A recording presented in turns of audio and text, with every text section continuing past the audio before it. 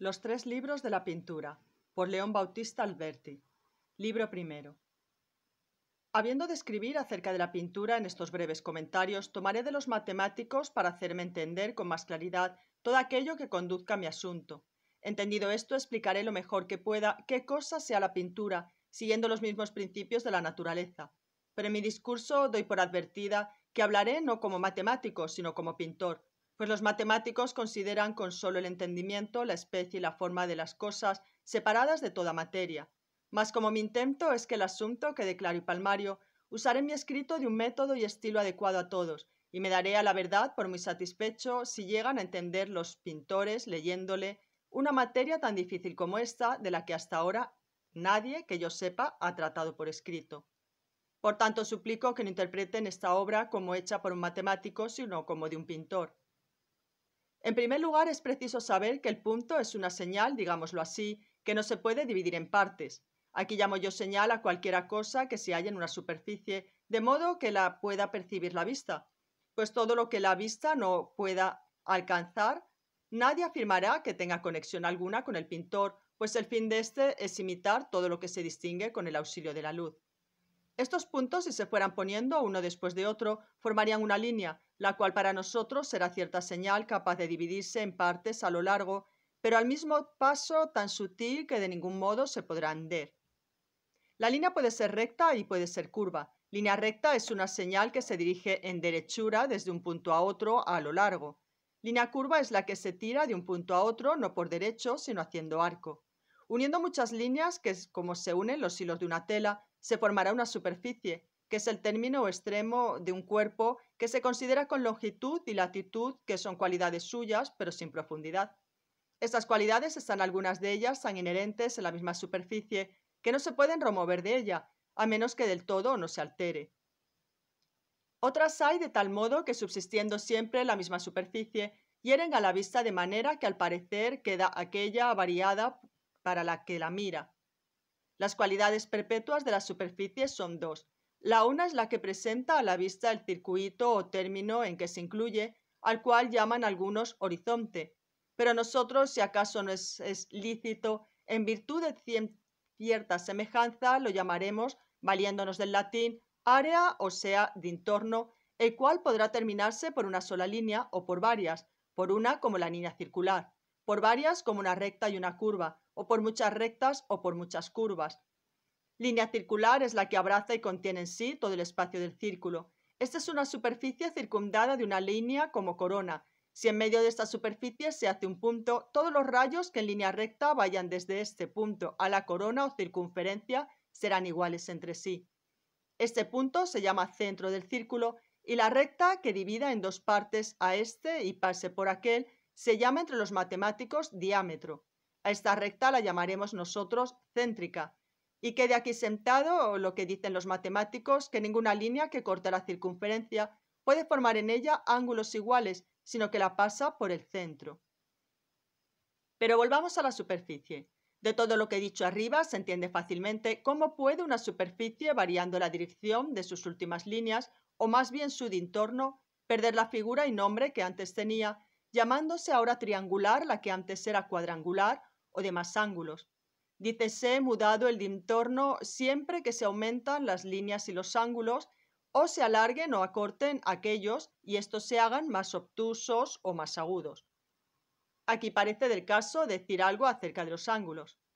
Ángulo es el que forman dos líneas que se cortan en la extremidad de una superficie. Es de tres especies, escuadra, menor que escuadra y mayor que escuadra. La escuadra o ángulo recto es uno de aquellos cuatro ángulos que forman dos líneas rectas que mutuamente se cortan, de modo que cada ángulo es igual a cada uno de los otros tres, por lo que es sentado que todos los ángulos rectos son iguales entre sí. El ángulo menor, que es cuadra o agudo, es aquel que es menor que el recto, esto es, que está menos abierto. Ángulo mayor que escuadra u obtuso es el que está más abierto que la escuadra. Volvamos otra vez a la superficie. Ya hemos dicho de qué modo se le da una cualidad por medio del entorno. Ahora resta que hablar de la otra cualidad que tiene la superficie, la cual, digámoslo así, es como una piel extendida sobre la cara de la superficie. Esta se divide en tres, plana o uniforme, esférica o abultada, cóncava o ahondada. A esta se añade la otra superficie que se compone de las dichas, de la cual trataremos luego, pero ahora hablaremos de las primeras. Superficie plana es aquella sobre la cual si se pone una regla tocará igualmente en todas sus partes, como la superficie del agua que esté muy limpia y tranquila.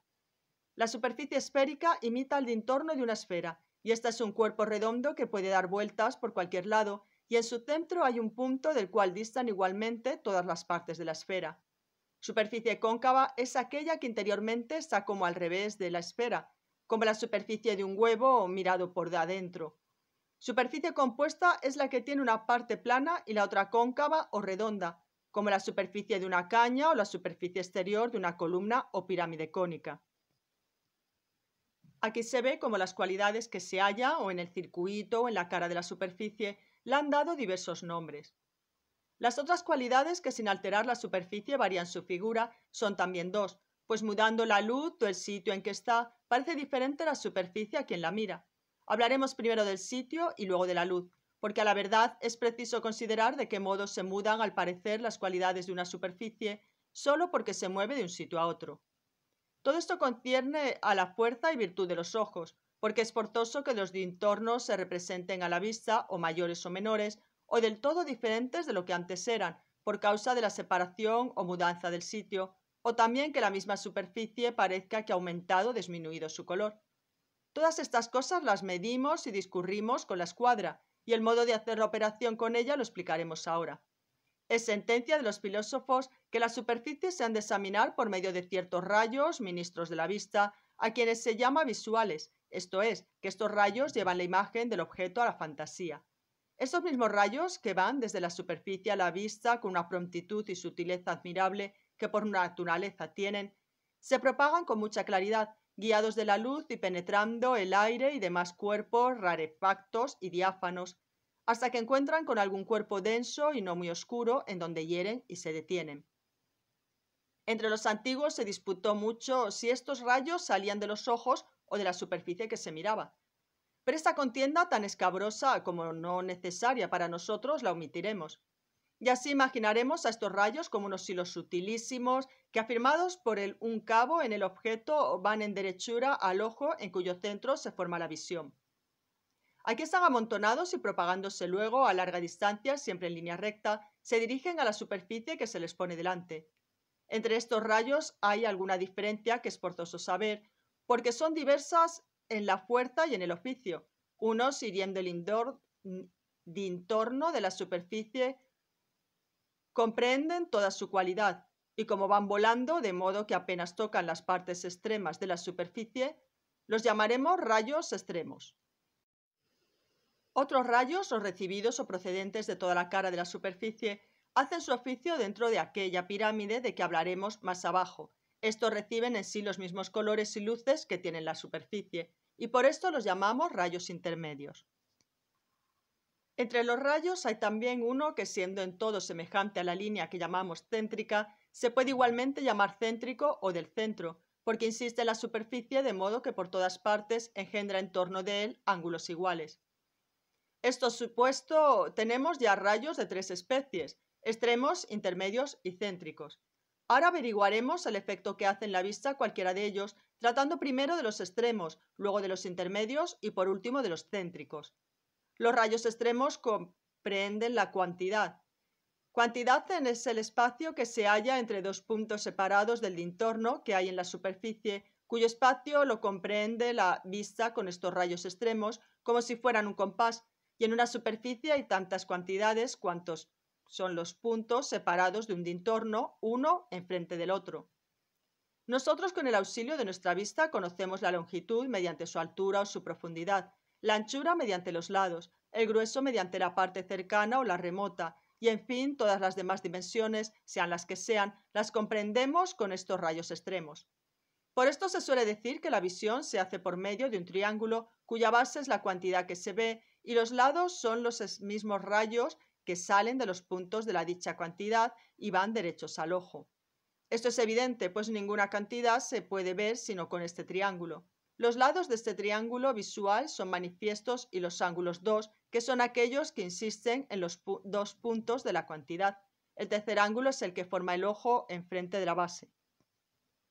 Aquí no ventilaremos si esta visión se forma en el nervio óptico o si se representa la imagen en la superficie del ojo como si fuera un espejo animado, pues en este tratado no se han de explicar todos los oficios de los ojos para la acción de ver, sino que solo expondremos aquellas cosas que parezcan más necesarias. Estando pues el principal ángulo de la vista en el ojo, ha dado fundamento a la regla siguiente, y es que cuanto más agudo sea este ángulo, parecerá menor la cantidad que se ve por donde se manifiesta claramente la razón de disminuirse un objeto al parecer visto desde larga distancia hasta que casi queda reducido a un punto. Pero con todo esto muchas veces sucede que cuanto más próxima se pone a la vista una superficie, tanto menor parece, y cuanto más se aparta se va haciendo mayor, lo cual se advierte distintamente en las superficies esféricas. Queda pues sentado que las cantidades, según el intervalo interpuesto, parecen a la vista mayores o menores, de cuya razón el que esté bien hecho cargo no dudará que muchas veces acaece convertirse los rayos intermedios en extremos y estos en aquellos mudándose el intervalo. Para lo cual se ha de saber que cuando los rayos intermedios se convierten en extremos, parecerá menor la cantidad mirada, y al contrario, cuando los extremos se vuelven intermedios, recogiéndose al de entorno cuanto más disten de éste, tanto mayor parecerá la cantidad. Sobre este punto suelo yo dar una regla, y es que cuantos más rayos abracemos con la vista, tanto mayor debemos pensar que sea el objeto o cantidad que vemos, y cuanto menos rayos, más pequeño será el objeto. Últimamente, como los rayos extremos abrazan por todas partes el entorno de una superficie, la rodean toda como si fuesen un foso, y así decimos que la visión se forma mediante una pirámide de rayos. Ahora es menester decir lo que es pirámide. Pirámide es un cuerpo largo y todas las líneas que se tiran de la base a la cúspide rematan en un punto. La base de la pirámide es la superficie que se mira y los lados son los rayos visuales que llamamos extremos. El cúspide de la pirámide está dentro del ojo en donde se forman los ángulos de la cantidad y baste de explicación de los rayos extremos que forman la pirámide, mediante la cual se ve lo mucho que importa saber cuáles y cuántos intervalos hay entre la vista y la superficie. Tratemos ahora de los rayos intermedios, que son aquella multitud de rayos que se encuentran dentro de la pirámide, rodeada de los rayos extremos. Su oficio es el mismo que el del camaleón, según dicen, y algún otro animal que lleno de terror toma el color de la cosa que haya más cercana para que no le atisben los cazadores. Esto es lo que hacen los rayos intermedios, pues con el contacto de la superficie se tiñen hasta el cúspide de la pirámide de la variedad de colores y luces que encuentran, de tal manera que en cualquiera parte que se les cortase representarían allí mismo los propios colores y luces de que vengan impregnados. Se ha observado que estos rayos intermedios en un intervalo muy largo llegan a faltar y debilitan la visión, y la razón es esta. Así estos rayos, como los demás visuales, van llenos de colores y luces a penetrar el aire, y como éste se haya impregnado de partículas gruesas, sucede muchas veces que al pasar los abate el mismo peso del aire, por lo cual, cuanto mayor es la distancia, parece la superficie más oscura y confusa. Vamos ahora al rayo céntrico.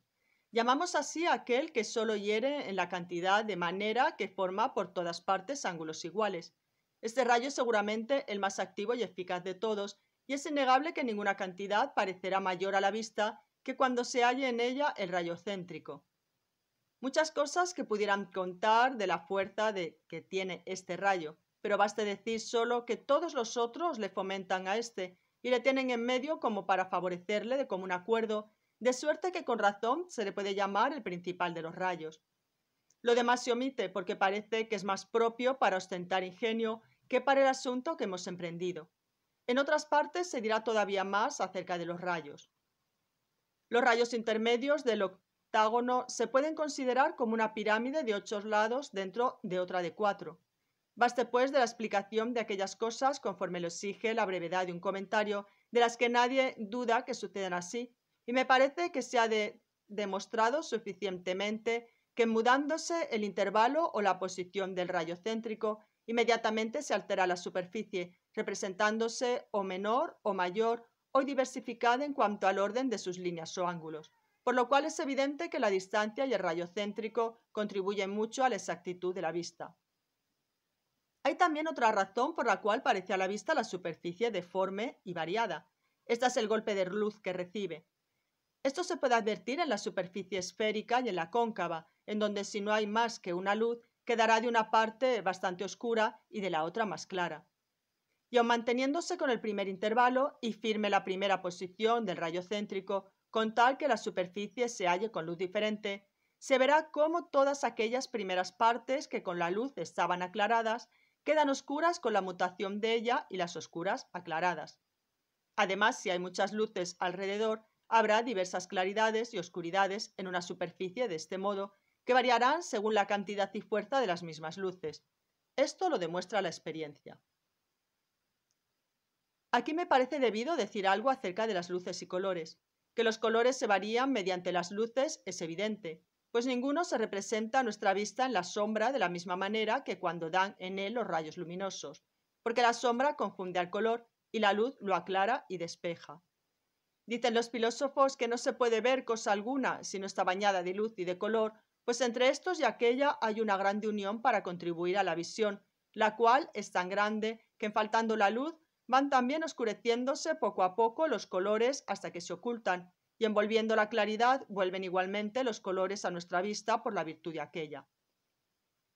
Siendo esto así, será bien tratar primero de los colores y luego investigaremos de qué modo se varían estos con la luz. Dejemos aparte las disputas filosóficas sobre cuál es el nacimiento y origen de los colores, pues nada le importa al pintor saber de qué modo se engendra el color de la mixción del raro y del denso, o del cálido y seco, o del frío y húmedo.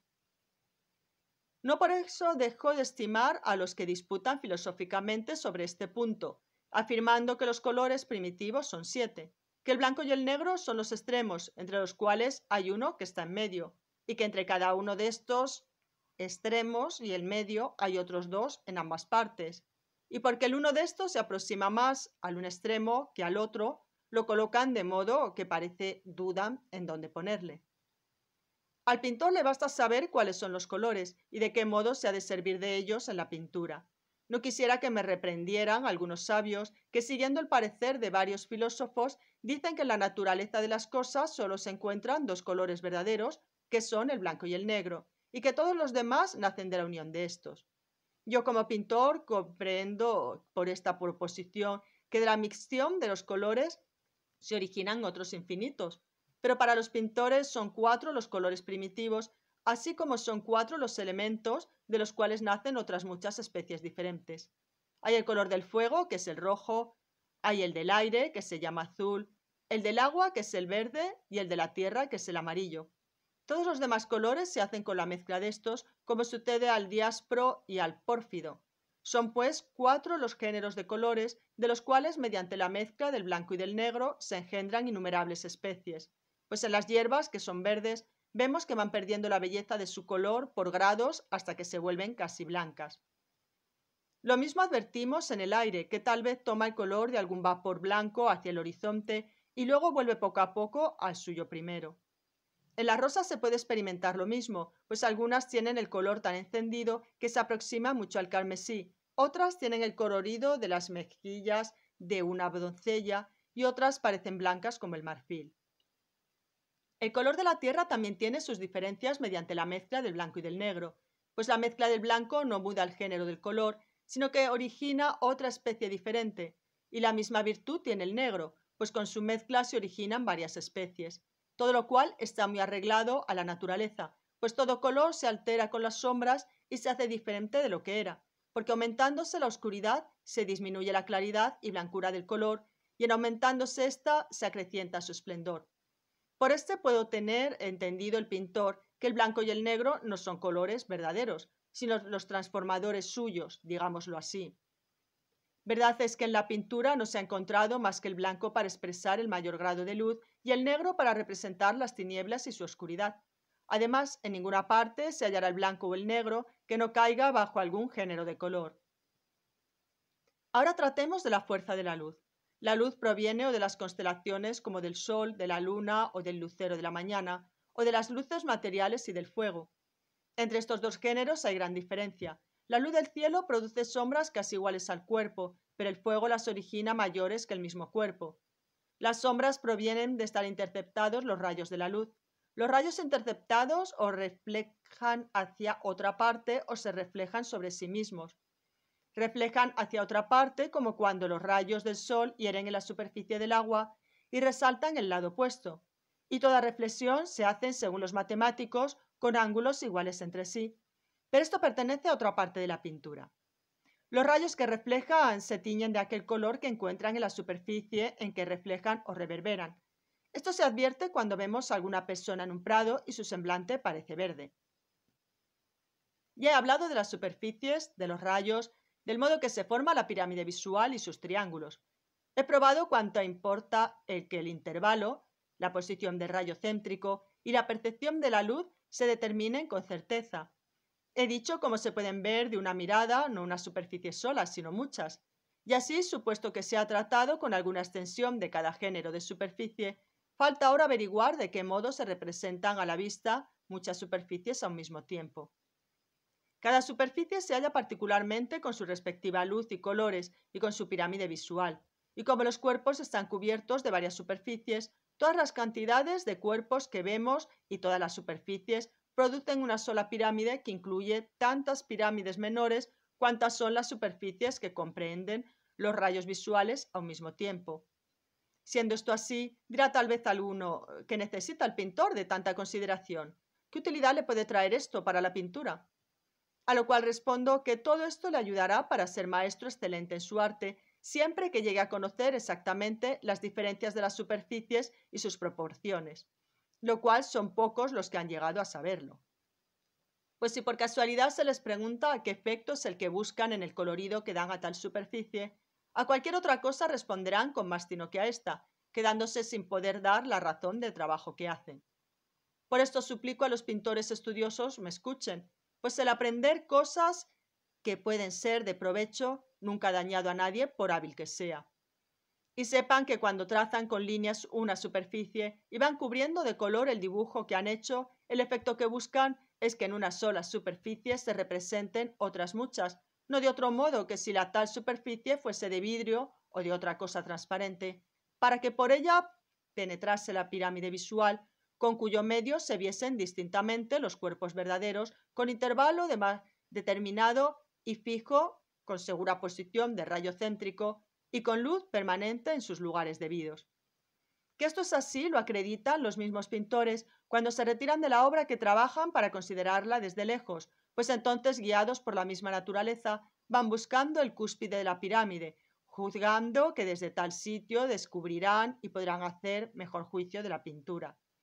Y como ésta sea solo una superficie de tabla o una pared, en donde procura el pintor representar muchas y varias superficies y pirámides comprendidas en una sola pirámide grande, será necesario que se corte en alguna parte esta pirámide visual, para que en este sitio pueda expresar el pintor con líneas y colores los dintornos y colorido que demuestra la dicha sección o corte. Siendo esto así, los que miran la superficie pintada ven el corte de la pirámide, por lo que el cuadro pintado será la sección de la pirámide visual con determinado espacio o intervalo, con su centro y luces particulares, representado todo en una superficie con líneas y colores. Sentado pues que el cuadro pintado es la sección de la pirámide, es menester investigar todos los medios por donde se pueda percibir distintamente cuánto se halle en dicho cuadro o sección. Hablaremos otra vez de las superficies, desde las cuales se ha demostrado ya que salen las pirámides que se han de cortar con la pintura. De estas superficies, unas están tendidas en tierra, como los pavimentos o el espacio que hay entre los edificios, o algunas otras que están igualmente distantes de dichos espacios. Otras superficies están verticales como las paredes y demás superficies cuyos lineamientos siguen la misma dirección que las paredes. Dícese que tales superficies están igualmente lejanas entre sí cuando la distancia que las separa es una misma por todas partes. Las superficies cuyos lineamientos siguen la misma dirección que las paredes son aquellas que por todas partes las toca una línea recta, continuada como las superficies de las pilastras que se ponen en progresión en una estancia. Todo esto se ha de añadir a lo que se ha dicho antes acerca de las superficies y sobre todo lo explicado acerca de los rayos, así extremos como intermedios y céntrico, y acerca de la pirámide visual se tendrá presente aquella proposición de los matemáticos que dice si una recta corta un triángulo de modo que forma otro menor y queda paralela a la base del primero, los lados del triángulo menor serán proporcionales a los del mayor. Así explican los matemáticos esta proposición, pero para que sea más inteligible a los pintores, haremos una explicación más clara. Primeramente es preciso saber qué cosa es la que aquí se llama proporcional.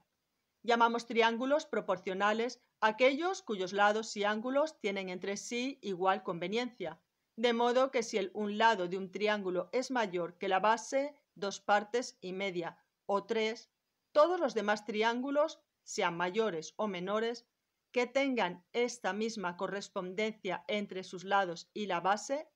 serán proporcionales, pues el mismo respecto que tiene esta parte a la otra en el triángulo mayor, tendrá la otra a su correspondiente en el menor.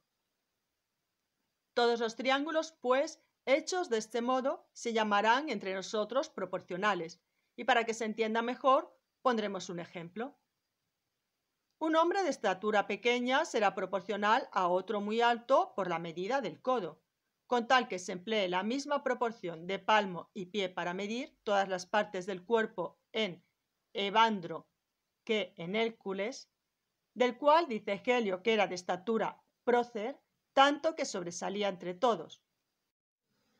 No hubo diferente proporción entre los miembros de Hércules que entre los del gigante Anteo, y así como en cada uno de estos correspondía la mano al codo y el codo a la cabeza y demás miembros con igual medida entre ellos, lo mismo sucederá en nuestros triángulos, entre los cuales habrá un cierto género de medida por la cual los pequeños corresponderán a los grandes en todo menos en el tamaño. Entendido esto bien, diremos, según la proposición matemática contraída a nuestro asunto, que la sección de cualquier triángulo, siendo paralela a la base, forma un triángulo semejante, como dicen, al triángulo mayor y según nosotros proporcional.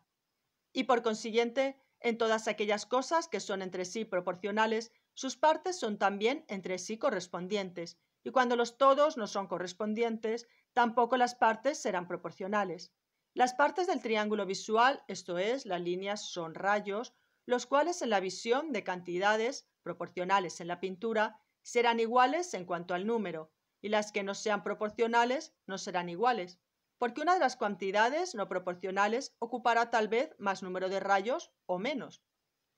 Sabido pues ya de qué modo es proporcional un triángulo menor a otro mayor y teniendo presente que la pirámide visual se compone de triángulos, contráigase todo nuestro discurso y explicación que hemos hecho de los triángulos a la pirámide y téngase por cierto que ninguna de las cantidades vistas en la superficie, si son paralelas a la sección, hace alteración alguna en la pintura, porque son verdaderamente cantidades equivalentes y proporcionales en toda sección paralela a sus correspondientes. Lo cual siendo así, se sigue que la pintura no padece alteración alguna en sus dintornos, ni se alteran sus cantidades que llenan el espacio-campo y miden los dichos dintornos, y que toda sección de la pirámide visual paralela a la superficie que se mira es igualmente proporcional a la dicha superficie.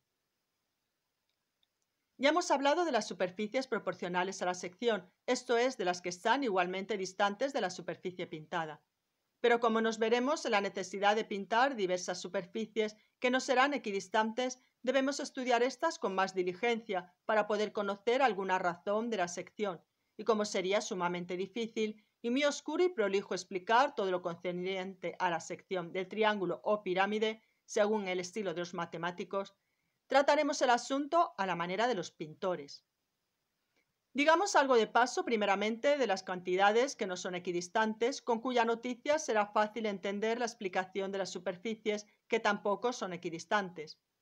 Entre estas hay algunas cuyas líneas son en todo semejantes a los rayos visuales y otras que están a igual distancia que estos.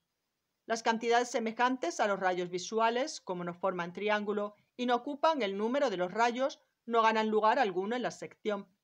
Pero las cantidades que están a igual distancia de los rayos visuales, cuanto más obtuso sea el ángulo que está enfrente de la base, tanto menor número de rayos recibirá aquella cantidad y menos espacio tendrá para la sección. Hemos dicho que la superficie se cubre de la cantidad y respecto a que comúnmente sucede hallarse en una superficie alguna cantidad que será equidistante de la sección sin que lo sean las demás cantidades de la misma superficie. Por esta razón, solo aquellas cantidades equidistantes en la superficie son las que no padecen alteración alguna en la pintura. Pero las cantidades que no sean equidistantes, cuanto más obtuso sea el ángulo enfrente de la base, tanta más alteración padecerán. Finalmente, a todo esto se debe añadir aquella opinión de los filósofos que dice que si el cielo, las estrellas, los mares y los montes, los animales y últimamente todos los cuerpos se hicieran la mitad menores de lo que son, no pareciera que se habían disminuido cosa alguna del tamaño que ahora tienen porque la magnitud, pequeñez, longitud, altura, profundidad, estrechez y latitud, la oscuridad, claridad y las demás cosas que se pueden hallar o no hallar en todo, las llamaron los filósofos accidentes, los cuales son de tal manera que sólo se les puede conocer exactamente por comparación. Dice Virgilio que a Eneas le llegaban los demás hombres a los hombros, pero si Eneas se comparase con Polifemo, parecería Pigmeón. Dicen que Euríalo era muy hermoso, pero comparado con Ganímedes, aquel a quien arrebató Jove parecía feo. En algunos países se tienen por blancas algunas mujeres que trasladadas a otros serían negras. El marfil y la plata son de color blanco, pero al lado de los cisnes y de las telas de lino ya no lo son tanto. Por esta razón, parecen las superficies en la pintura muy bellas y resplandecientes cuando en ella se advierte aquella proporción del blanco al negro que hay en las cosas naturales de la claridad a las sombras. Y así todo esto se advierte por medio de la comparación, pues en el cotejo de una cosa con otra se encuentra, se encuentra cierta fuerza con la cual se echa de ver lo que hay de más o de menos o la igualdad. Por esto llamamos grande aquello que es mayor que otra cosa menor, y grandísimo a lo que es mayor que lo grande, luminoso a lo que es más claro que lo oscuro, y clarísimo a lo que tiene aún más luz que lo que decimos luminoso. Y la comparación se hace siempre con aquellas cosas que son más conocidas, y por esto siendo el hombre la cosa más conocida entre todas las demás, dijo Protágoras que era el modelo y la medida de todas las cosas, entendiendo por esto que los accidentes de todas las cosas se pueden conocer y comparar con las del hombre. Todo esto nos enseña que todas aquellas cosas que pintemos parecerán a la vista grandes o pequeñas según el tamaño que la pintura demos al hombre. Esta fuerza de la comparación juzgo que nadie la llegó a comprender tanto entre los antiguos como Timantes, el cual pintando un cíclope dormido en una tabla pequeña lo puso al lado de unos sátiros que le abrazaban el dedo gordo del pie para que pareciese su estatura enorme comparada con la de los sátiros. Hasta aquí hemos hablado de casi todo lo que pertenece a la virtud de la vista y al conocimiento de la sección de la pirámide visual, pero como conduce mucho a nuestro propósito el saber cuál sea esta sección y de qué modo se hace, falta decir la manera y el arte con que se expresa en la pintura. Para esto me parece mejor decir lo que yo hago cuando me pongo a pintar. Para pintar pues una superficie, lo primero hago un cuadro rectángulo del tamaño que me parece el cual me sirve como de una ventana abierta por la que se ha de ver la historia que voy a expresar y allí determino la estatura de las figuras que de poner, cuya longitud la divido en tres partes. Estas para mí son proporcionales a aquella medida que comúnmente llaman brazo, pues según se advierte claramente en la proporción del hombre, su regular longitud es de tres brazos o brazas. Con esta medida divido la línea que sirve de base al rectángulo y anoto las veces que entra en ella. Esta línea es para mí proporcional a la más próxima cantidad equidistante que se ve en aquel espacio al través. Hecho esto, señalo un punto a donde se ha de dirigir principalmente la vista dentro del rectángulo, el cual ocupará el mismo sitio en que debe insistir el rayo céntrico, por lo que le llamo punto del centro. Este punto se colocará en paraje conveniente, no más alto que la altura que se señala a las figuras en aquel cuadro, con lo cual tanto los objetos pintados como quien los mira parece que están en un mismo plano. Señalado el punto del centro, tiro rectas de todas las divisiones de la línea de la base a él, las cuales me demuestran el modo con que se van disminuyendo las cantidades que miro al través cuando me hallo en la precisión de llegar con los objetos hasta el último término del cuadro. Algunos tirarían una paralela a la línea de la base del rectángulo ya dividida y dividirían además en tres partes iguales el espacio que comprenden las dos rectas. Luego tirarían otra paralela a la segunda de tal suerte que el espacio comprendido entre la base y la primera paralela dividida en tres partes exceda toda una parte al otro espacio que quede entre la primera y segunda paralela.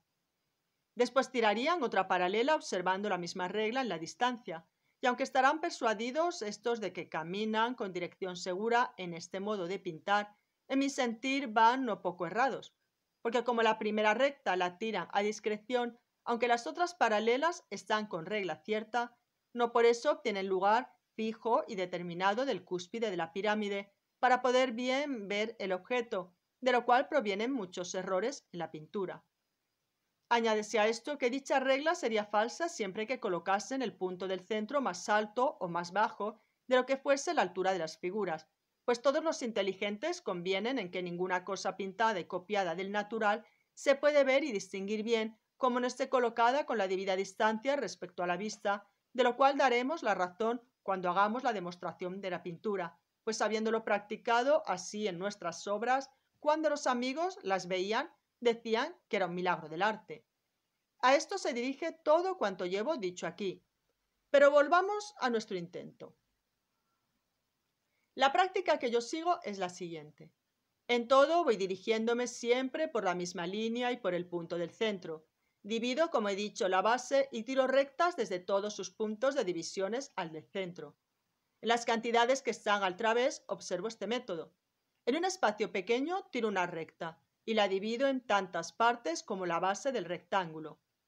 Sobre ella coloco un punto a igual altura que el punto del centro y tiro desde él rectas a todas las divisiones. Luego determino la distancia que me parece entre la vista y el cuadro y prefijado ya el sitio de la sección allí mismo, con una perpendicular que levanto corto todas las rectas que encuentro desde ella.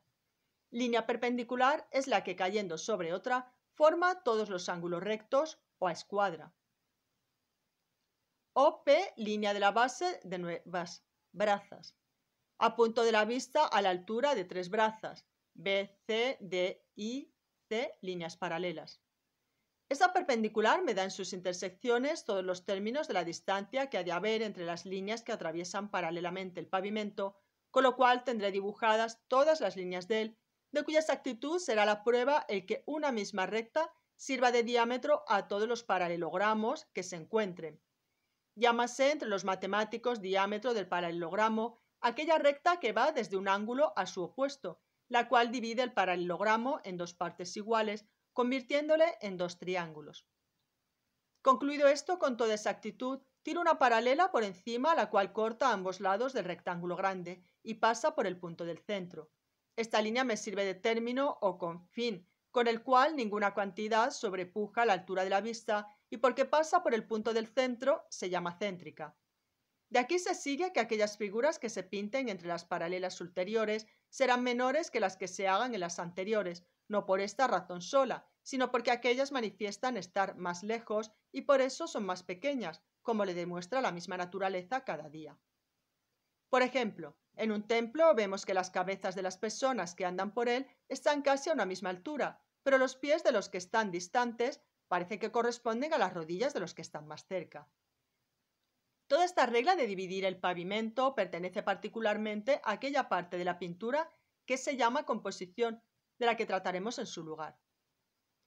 Bien que me temo que por su novedad y por la brevedad de este comentario quede algo oscura para muchos, pues según observamos por las obras de los antiguos, esta parte no fue conocida de nuestros mayores por su dificultad extrema, siendo casi imposible encontrar entre los cuadros antiguos una historia bien compuesta y bien pintada o bien esculpida.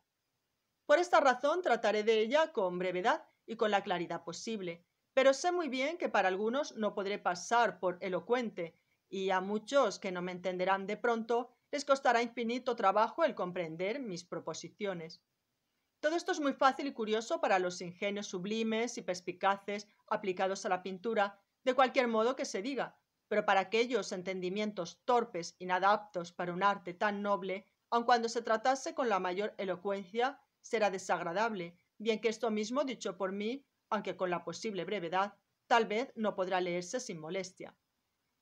pero con todo espero disimule el poco aliño que he puesto en mis frases por darme a entender con más claridad, advirtiendo que en adelante tal vez será más gustosa la lectura. Hemos tratado ya, pues, de los triángulos, de la pirámide, de la sección y de todo lo demás que ha parecido del caso, de todo lo cual solía yo hablar con mis amigos más difusamente con reglas geométricas, haciendo en su presencia la demostración de todo, la cual no he querido poner aquí por evitar toda prolijidad, y así solo me he ceñido a exponer meramente los primeros principios de la pintura, y los llamo primeros porque son los principales fundamentos del arte para los pintores que no lo saben. Pero son tales que el que se haga cargo bien de ellos conocerá el mucho provecho que puede sacar para ilustrar el entendimiento y para entender bien la definición de la pintura y todos los demás que se ha de tratar en los dos libros siguientes. Nadie piense que puede alguno llegar a ser buen pintor sin saber y conocer a fondo con toda inteligencia el efecto que busca en sus obras, pues en vano se tira el arco si no se ha prefijado antes el blanco a donde se quiere encaminar la flecha. Yo quisiera que todos se persuadiesen que solo podrá ser diestro pintor aquel que haya aprendido primero a colocar bien los dintornos y todas las cualidades de las superficies, y al contrario, yo aseguro que el que no sepa con toda exactitud y conocimiento todo lo que hemos dicho, jamás podrá llegar al grado de perfección que se requiere, pues todo lo que se ha explicado de la superficie y la sección es absolutamente necesario. Ahora falta instruir al pintor en el método que ha de observar para imitar con la mano los objetos que tiene ya concebidos en el pensamiento. Libro segundo. Como es natural que este estudio parezca demasiado fatigoso a los jóvenes, será oportuno manifestar aquí cuán digna es el arte de la pintura de que empleemos en ella todo el cuidado y diligencia que sea posible. Esta arte tiene en sí una fuerza tan divina que no solo hace lo que la amistad, la cual nos representa al vivo las personas que están distantes, sino que nos pone delante de los ojos aún aquellos que ha mucho tiempo que murieron, causando su vista tanta complacencia al pintor como maravilla a quien lo mira. Dice Plutarco que al considerar Casandro, uno de los capitanes de Alejandro, la estatua de este héroe, contemplando en ella aquella majestad real que tenía cuando vivo, comenzó a temblar extraordinariamente. Cuentan también que Aquesilao, como conocía la fealdad tan grande de su persona, no quiso que quedase ningún retrato suyo para sus descendientes, por lo cual nunca permitió retratarse ni en pintura ni en escultura, lo cual manifiesta que el semblante de los muertos vive largamente con el auxilio de la pintura. El haber esta arte expresado materialmente los dioses que veneraba el paganismo se debe considerar como un sublime don concedido a los mortales, pues la pintura ha coadyuvado infinito a la piedad por la cual se unen los hombres a Dios y a contener los ánimos con el freno de la religión. Es tradición que Fidias hizo una estatua de Júpiter en Elide, cuya belleza aumentó el culto ya establecido de la religión. Pero para saber cuánto influye la pintura en todos los placeres del ánimo y el ornato y hermosura que da a todas las cosas, no es sino ver cómo casi nunca se encontrará alhaja, por preciosa que sea, a la que no, añada mucho más valor la forma que la da la pintura, esto es, su dibujo. El marfil, los anillos y todas las cosas preciosas y estimables se hacen aún mucho más preciosas por la mano del pintor.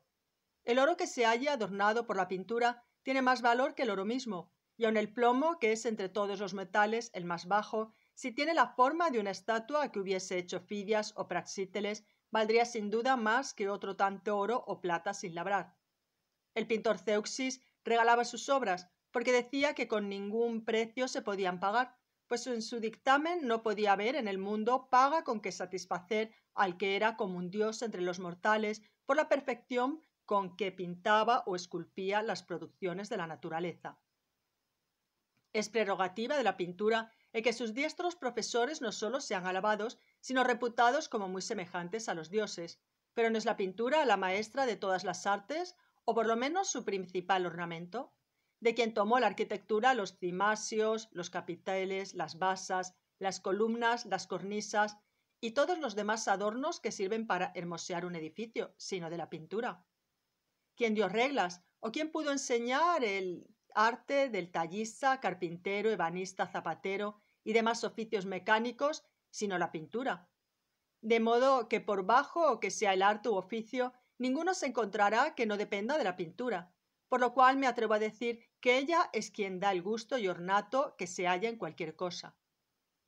Entre los antiguos fue tan honrada esta arte que siendo así que a casi todos los artífices les llamaban fabri en la literatura latina, solo el pintor tenía nombre diferente, por lo cual muchas veces he dicho en presencia de algunos amigos que el inventor de la pintura fue sin duda aquel joven Narciso que fue convertido en flor, porque siendo la pintura como la flor de todas las artes, parece que se puede acomodar sin violencia la fábula de Narciso a ella, porque qué otra cosa es pintar que tomar con el auxilio del arte la superficie de la fuente.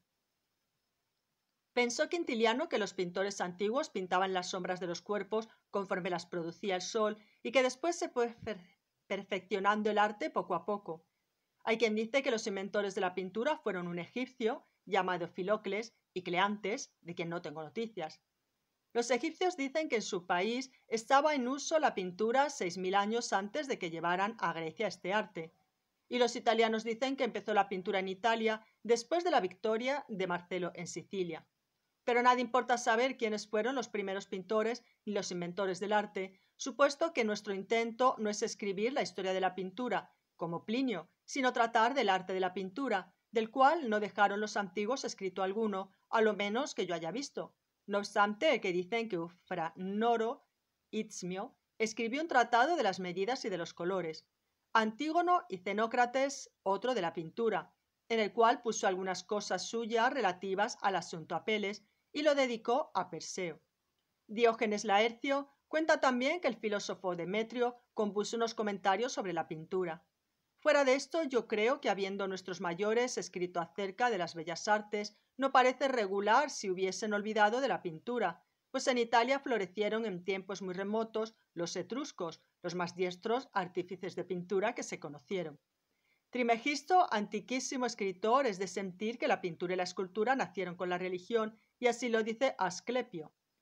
Teniendo el género humano presente su naturaleza y origen, figuró a los dioses con rostro semejante al suyo y quien ignora que la pintura ha obtenido siempre el lugar más honorífico ya en las cosas públicas, ya en las privadas, ya en las religiosas y ya en las profanas. Tanto que no se hallará entre los hombres ningún artificio que merezca igual atención y estima. Son increíbles los precios con que pagaban antiguamente las tablas pintadas. Aristides Tebano vendió una sola pintura en cien talentos, que son sesenta mil florines. Dice también la historia que a la tabla del Protógenes debió Rodas el que Demetrio no la abrasase, por no expresarse a que fuese pábulo de las llamas una obra como aquella, de modo que se puede decir que Rodas se rescató por un cuadro. Otras muchas cosas a este tenor se cuentan que acreditan lo mucho que se ha honrado y elogiado a los célebres pintores en todas partes, puesto que los ciudadanos más nobles y esclarecidos, los filósofos y los mismos reyes, cifraban su mayor complacencia en las pinturas y aún se aplicaban a pintar. En Roma fueron pintores Lucio Manilio, caballero romano, y Fabio, que era de los más distinguidos. Turpilio, caballero romano, igualmente ejerció la pintura en Verona. Pacubio, poeta trágico, nieto del poeta Enio por parte de madre, pintó en la plaza de Hércules. Sócrates, Platón, Metródoro y Pirro, filósofos todos, fueron instruidos en el arte de la pintura. Nerón, Valentiniano y Alexandro Severo, emperadores, fueron en extremo aficionados a ella, y sería imposible referir los muchos príncipes y reyes que tuvieron la misma inclinación. Tampoco es del caso poner aquí la infinita serie de pintores antiguos, cuyo número se puede calcular por este hecho, y es que en poco más de un año se hicieron bajo la dirección de Demetrio Valerio, hijo de Fanóstrato, sesenta estatuas, unas secuestres, otras pedestres y otras en carros. Y si en aquella ciudad había tantos escultores, ¿es de creer que habría menos pintores?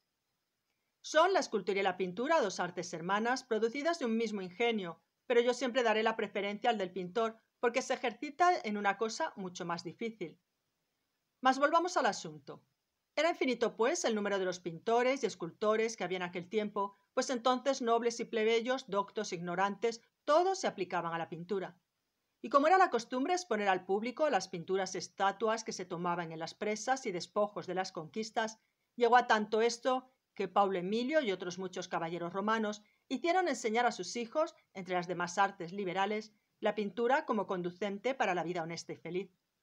Esta costumbre tan laudable la tomaron de los griegos, entre los cuales los jóvenes de ilustre nacimiento aprendían además de todo lo perteneciente a la literatura, la geometría, la música y la pintura. Para las mujeres fue también esta arte muy honrosa, como lo prueban los elogios que dan los autores a Marcia, hija de Barron, porque sabía pintar. Y estaba esto en tanta estima en la Grecia que se prohibió públicamente que los esclavos aprendiesen la pintura, y no sin razón, pues tal arte solo es digna de un ánimo noble y libre, siendo para mí la mejor señal de ingenio excelente la aplicación y la afición al dibujo. Solo esta arte es la que igualmente agrada a los ignorantes como a los instruidos, lo que ninguna otra sucede, pues por lo regular lo que gusta a los inteligentes disgusta a los que no saben. Tampoco se hallará una persona que no desee saber pintar bien, y es evidente que la misma naturaleza tiene su delicia en ello, pues vemos que las manchas de los mármoles representan muchas veces centauros y cabezas con barba larga. Cuentan también que en una joya que tenía Pirro había representadas naturalmente y sin artificio alguno las nueve musas de sus atributos, Añádase a esto que en ninguna de las artes, sino en esta, trabajan con tanto gusto los que saben y los que no saben, ya para aprenderla o ya para ejercitarse en ella. Y si es lícito decir lo que yo experimento en mí particularmente, puedo asegurar que cuando me pongo a pintar solo por gusto, como muchas veces me sucede, así que me desocupo de otros negocios, me deleito y me enajeno tanto en este ejercicio que al cabo de tres o cuatro horas me parece que apenas han pasado algunos minutos, con lo que puede concluirse diciendo que esta arte causa gusto y delicia ejercitándose por afición en ella y en llegando a ser diestro, pintor, alabanza, fama y riqueza. Siendo esto así, puesto que la pintura es el mejor y más antiguo ornamento de todas las cosas, digna solo de hombres libres y agradable a los instruidos y a los ignorantes, con toda la eficacia, me es posible, exhorto a los jóvenes a que apliquen a ella con todo el anhelo que puedan. A los que se hayan ya instruidos los animo a que estudien hasta llegar a la última perfección, sin perdonar fatiga ni diligencia alguna. Tengan presente siempre los que procuran alcanzar la excelencia del pincel, la fama y reputación que consiguieron los antiguos, y con esto verán al mismo tiempo lo enemiga que fue de la virtud y la alabanza, la avaricia, pues un ánimo que solo aspira al interés rara vez podrá llegar a la cumbre de la inmortalidad. He conocido muchos que teniendo las mejores disposiciones y proporciones para hacerse hombres grandes en la pintura, se aplicaron solo a la ganancia y se quedaron sin poder alcanzar bienes ni fama. Estos tales, si a fuerza de estudio hubiesen cultivado su ingenio, fácilmente se hubieran hecho famosos y por consiguiente hubieran conseguido riqueza y gusto. Pero basta ya de esto. La pintura la dividimos en tres partes y esta división la sacamos de la misma naturaleza, pues siendo el fin de aquella representarnos las cosas del modo que se ven, hemos reflexionado las diferentes maneras con que llegan a nuestra vista los objetos. Primeramente, cuando medimos una cosa, advertimos que aquello ocupa cierto espacio. El pintor circunscribirá el espacio a este, a lo cual llamará propiamente contorno. En segundo lugar, en la acción de ver consideramos el modo con que se juntan las diversas superficies de la cosa vista unas con otras, y dibujando el pintor esta unión de superficies, cada una en su lugar, podrá llamarlo composición. Últimamente, al tiempo de mirar, discernimos con toda distinción todos los colores de las superficies, y como la representación de estos en la pintura tiene tantas diferencias por causa de la luz, por esta razón llamaremos a esto adumbración. De modo que la perfección de la pintura consiste en el contorno, en la composición y en la adumbración o claroscuro. Ahora trataremos de cada una de estas cosas, aunque con brevedad, y empezando por el contorno, digo que este consiste en la justa colocación de las líneas, a lo cual se llamó hoy dibujo. En esta parte fue muy sobresaliente Parrasio, aquel pintor con quien introduce Xenofonte a Sócrates en conversación por la extremada delicadeza de sus líneas. En mi sentir el dibujo se debe hacer con líneas muy sutiles, que apenas las distinga la vista, así como hacía Peles, que desafió a Protógenes a tirar líneas casi imperceptibles. El dibujo consiste en señalar los contornos, lo cual si se ejecuta con líneas muy gruesas, en vez de parecer márgenes o términos los de una superficie pintada, parecerán hendeduras. Yo quisiera que el dibujo solo se buscase la exactitud del contorno, en lo cual es preciso ejercitarse con infinita diligencia y cuidado, pues nunca se podrá alabar una composición y una buena inteligencia de las luces si falta el dibujo. Al contrario, muchas veces sucede que solo un buen dibujo basta para agradar, por lo cual el dibujo es en lo que más se ha de insistir, para cuyo estudio creo que no puede haber cosa que más ayude y aproveche que el velo, de cuyo uso soy yo el primer inventor en esta forma. Tómese un pedazo de tela transparente, llamada comúnmente velo, de cualquier color que sea. Estirada esta en un bastidor, la dividido con varios hilos en cuadros pequeños e iguales a discreción. Póngase después entre la vista y el objeto que se ha de copiar para que la pirámide visual penetre por la transparencia del velo. Este velo tiene varias utilidades. Primeramente, representa siempre las mismas superficies inmóviles, pues en señalando los términos en él, al instante se encontrará el primer cúspide de la pirámide con que se empezó, lo cual es muy difícil de hallar sin este auxilio. Es absolutamente imposible que no se mude alguna cosa al tiempo de pintar, porque el que pinta nunca mira precisamente desde un mismo punto al objeto, y de esto depende que la copia de una cosa pintada es mucho más parecida al original con la que se hace de una estatua. Además, el objeto se altera considerablemente en cuanto al aspecto por la variación del intervalo o de la posición del centro. Por tanto, el velo trae también la grande utilidad de que siempre representa el objeto de un mismo modo. En segundo lugar, con el velo se señalarán todas las partes del dibujo y todos los contornos con toda exactitud, porque viendo que en un cuadrito está la frente, en el de abajo la nariz, en el del lado la mejilla y en el otro más abajo la barba, y de este modo todas las demás partes colocadas en sus respectivos lugares, se puede con toda facilidad trasladarlas a la tabla o pared, poniendo en ella igual división de cuadros. Últimamente este velo sirve de mucha utilidad y auxilio para dar perfección a la pintura, porque con él parecen los objetos no pintados, sino del todo relevados, con lo cual la misma experiencia puede manifestar con el auxilio de la razón lo mucho que aprovechará para pintar bien y con perfección. No soy del dictamen de algunos que dicen no es bueno que los pintores se acostumbren al velo o a la cuadrícula, porque con esto facilita y sirve tanto para hacer bien las cosas, sucede que después no pueden ejecutar cosa alguna por sí solos sin este auxilio, sino a costa de grandísimo trabajo. Es evidente que nosotros no indagamos el mucho o poco trabajo del pintor, sino que alabamos aquella pintura que tiene mucho relieve y que es sumamente parecida a los cuerpos naturales que representa. Esto no sé yo cómo lo podrá ejecutar ninguno, ni aun medianamente, sin el auxilio del velo. Sírvame, pues, de él los que quieran aprovechar en el arte, y si algunos quieren sin él hacer alarde de su saber, deben imaginar que le tienen delante y obrar como si realmente estuviera, para que con el auxilio de una cuadrícula imaginaria puedan señalar con exactitud los términos de la pintura. Mas, como muchas veces sucede a los que tienen poca práctica, que no distinguen con toda certeza los contornos y dintornos de la superficie, por ejemplo en un rostro, donde apenas se conoce dónde rematan las sienes en la frente, es preciso darles una regla para que puedan conocerlo y distinguirlo bien. La misma naturaleza lo enseña, porque así como las superficies planas parecen bien a nuestra vista cuando tienen o luz o sombra universal, así también las superficies esféricas las halla a nuestra vista agradables cuando tienen varias manchas de claros y sombras, como si fuesen muchas superficies. Cada parte de por sí que tenga diferente luz o diferente sombra se ha de considerar como superficie separada, y si la sombra de una superficie continúa por largo espacio debilitándose poco a poco hasta quedar en claro, entonces se deben señalar con líneas los diferentes espacios de sus grados, para que después, al tiempo de dar el colorido, no haya duda en la regla que se ha de seguir. Todavía había mucho que hablar del dibujo, el cual tiene mucha conexión con la composición, pero es menester saber qué cosa sea composición. La composición en la pintura es aquel modo o regla de pintar mediante la cual se unen y arreglan entre sí todas las partes de una obra de pintura.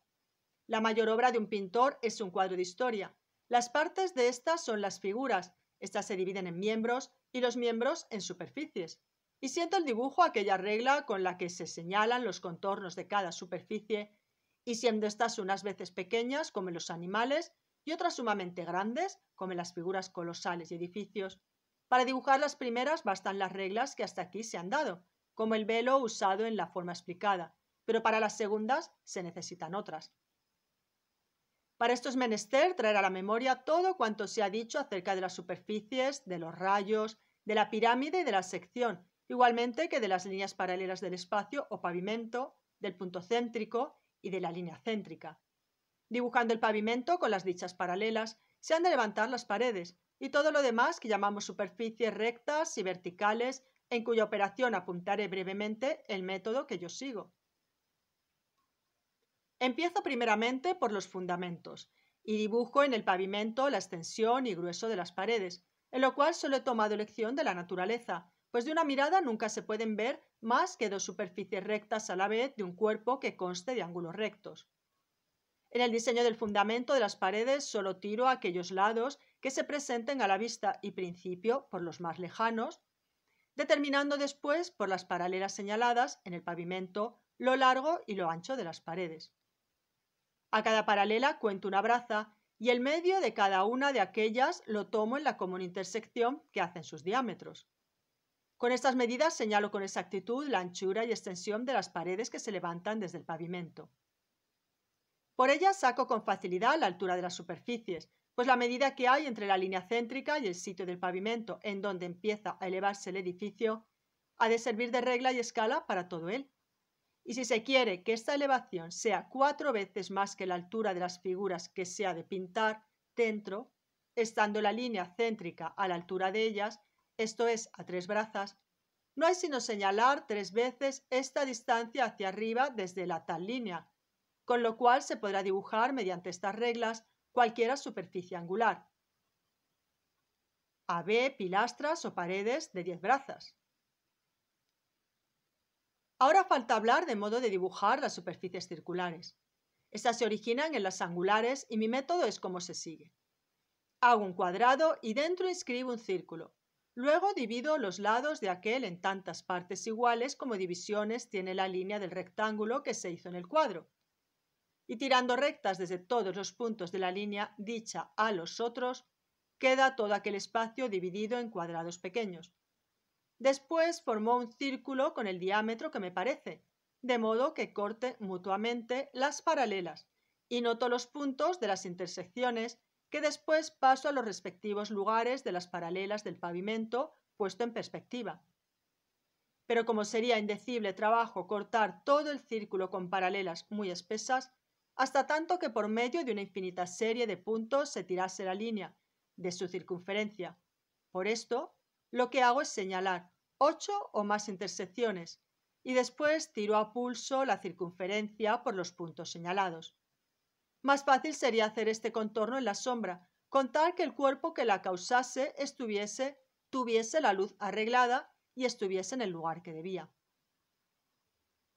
Habiéndose hablado ya del dibujo de las superficies angulares y circulares con el auxilio de las paralelas, cuando son de gran tamaño, hablaremos ahora de la composición, esta es aquella regla con la cual se unen y coordinan entre sí las partes que componen una obra pictórica. La mayor obra de un pintor no es hacer una figura colosal, sino un cuadro de historia, pues para esto se requiere mucho más ingenuo que para lo otro. Las partes de la historia son las figuras, las partes de estas son los miembros y las de estos son las superficies, porque de estas se hacen los miembros, de los miembros las figuras y de las figuras una historia que constituye la última y más excelente obra de un pintor. De la unión y compostura de las superficies nace aquella gallardía y aquella gracia que llaman belleza,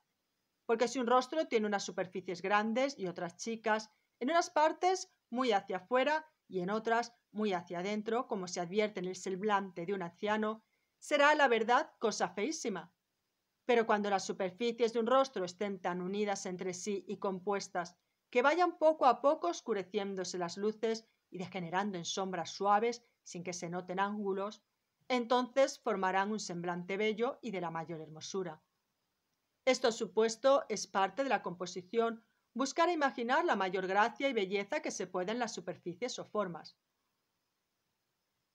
Para llegar a saber esto no he encontrado regla más cierta que la observación de la naturaleza, y así el principal estudio debe ser considerar y reflexionar con la mayor atención la forma que da el maravilloso artífice de todas las cosas, que es la naturaleza, a los miembros del cuerpo humano, en cuya imitación es menester ejercitarse con el mayor estudio, aprovechándose para esto, como ya se ha dicho, del velo o de la cuadrícula.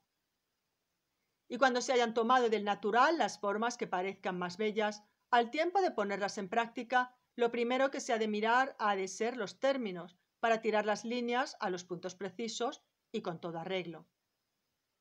Esto es cuanto a la composición de las superficies. Ahora hablaremos de la de los miembros. La composición de los miembros requiere principalmente que todos ellos sean entre sí proporcionados. Llámanse bien proporcionados cuando todos corresponden con propiedad respecto al tamaño y a su oficio, respecto a la especie y a los colores y a las demás cosas como a la belleza, a la majestad.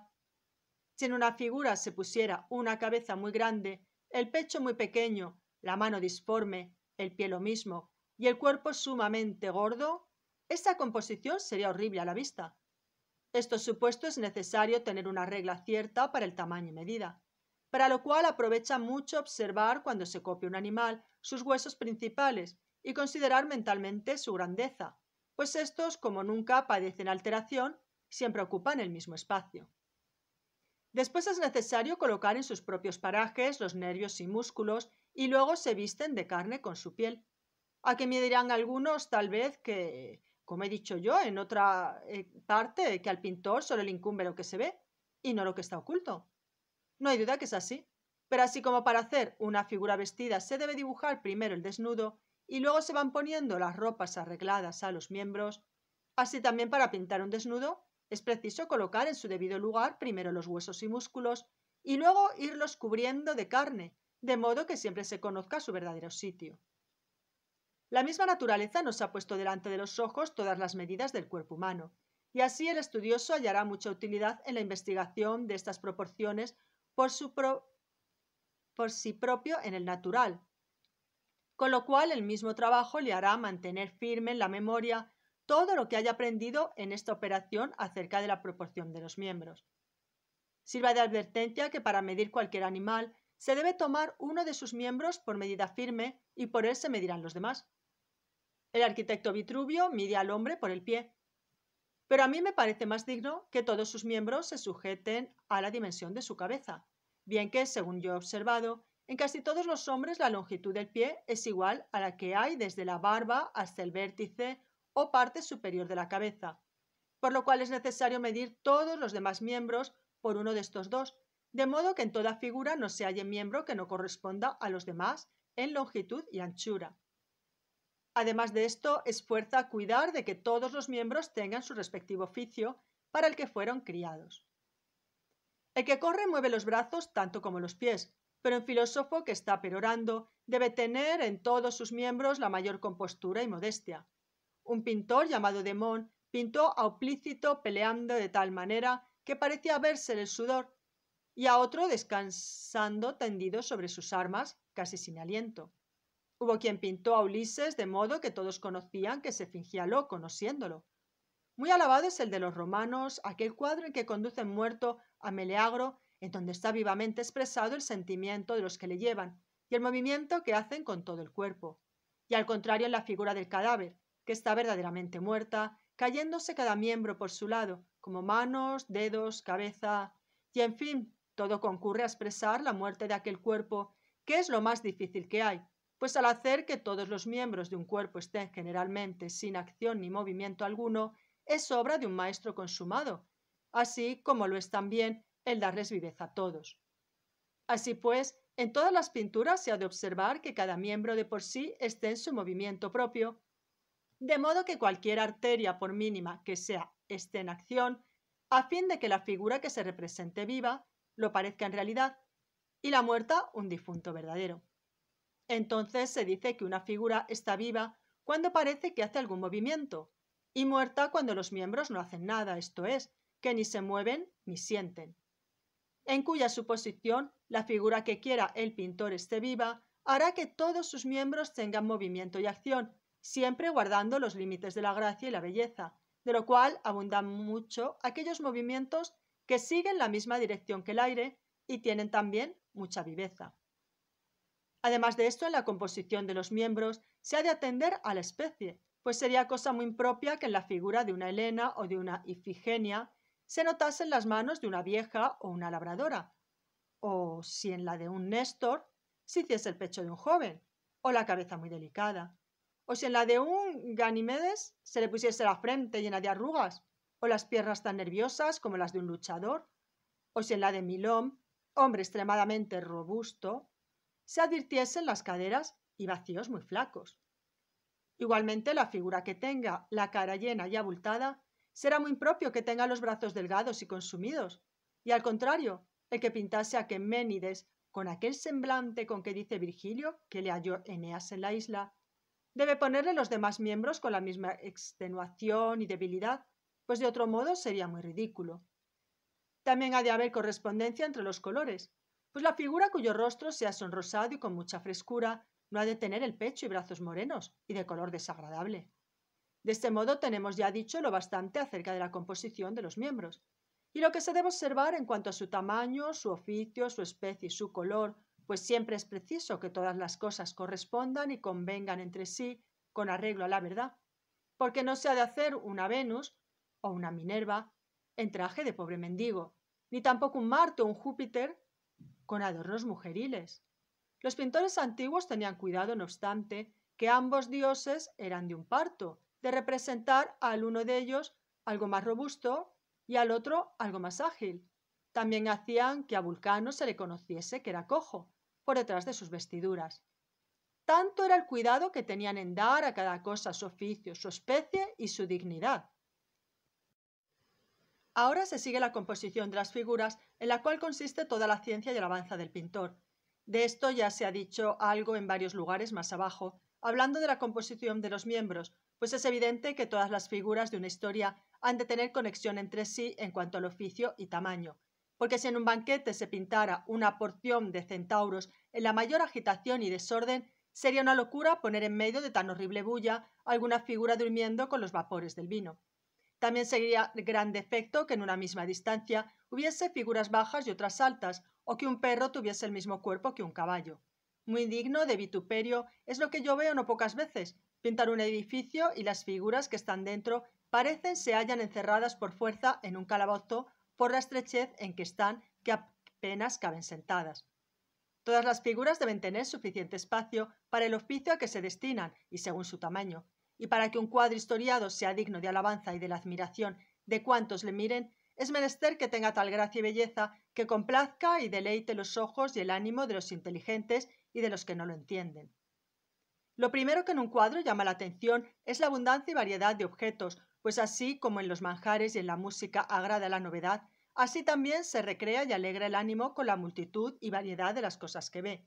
Y así en la pintura lo más agradable que hay es la diversidad de figuras y de colores. Será abundante y agradable una historia cuando en ella se vean mezclados en sus lugares a propósito ancianos, jóvenes, matronas, doncellas, niños, animales domésticos como perrillos, pájaros, caballos y corderos, edificios, y en fin, siempre que la abundancia y diversidad de objetos sean apropiadas al asunto, será laudable, pues a los que lo miran se les pasa el tiempo considerando cada cosa de por sí, embelesados con la gracia y la fecundidad de la idea del pintor. Esta abundancia debe ir, en mi dictamen, adornada y llena de variedad grave y moderada según la dignidad o lo reverente del asunto. Nunca alabaré a aquellos pintores que para manifestar que no tienen escasez de ideas y para que en sus cuadros no quede lugar vacío, no se quieren limitar a una composición arreglada, sino que van esparciendo por todo el lienzo las figuras sin orden y confusamente, y así en vez de representar la historia el asunto que se quiere, solo representa una junta tumultuosa, pues tal vez requiere un asunto pocas figuras, y así como las pocas palabras, con tal que sean sentenciosas, dan majestad a un príncipe, así también en una historia un razonable número de figuras causa dignidad, y en su variedad puede haber gracia. No me gusta de ningún modo la soledad en un cuadro, pero tampoco me agrada la multitud de figuras que le quitan la dignidad. Yo quisiera que en un cuadro se observase la práctica de los poetas trágicos y cómicos, que en sus composiciones solo introducen las personas necesarias, y así a mi dictamen ninguna historia ha de tener tanta multitud y variedad de cosas, que no puedan todas expresarse debidamente con nueve o diez figuras, así como Barron, que en sus convites, para evitar la bulla y confusión, nunca juntaba más de nueve personas. Siendo pues tan agradable la variedad, hará este efecto una pintura cuando todas las actitudes y posturas de las figuras sean diferentes. Unas se pondrán en modo que se miren de frente con las manos levantadas, transparentándose el resplandor de la luz entre los dedos, y plantarán siempre sobre él un pie.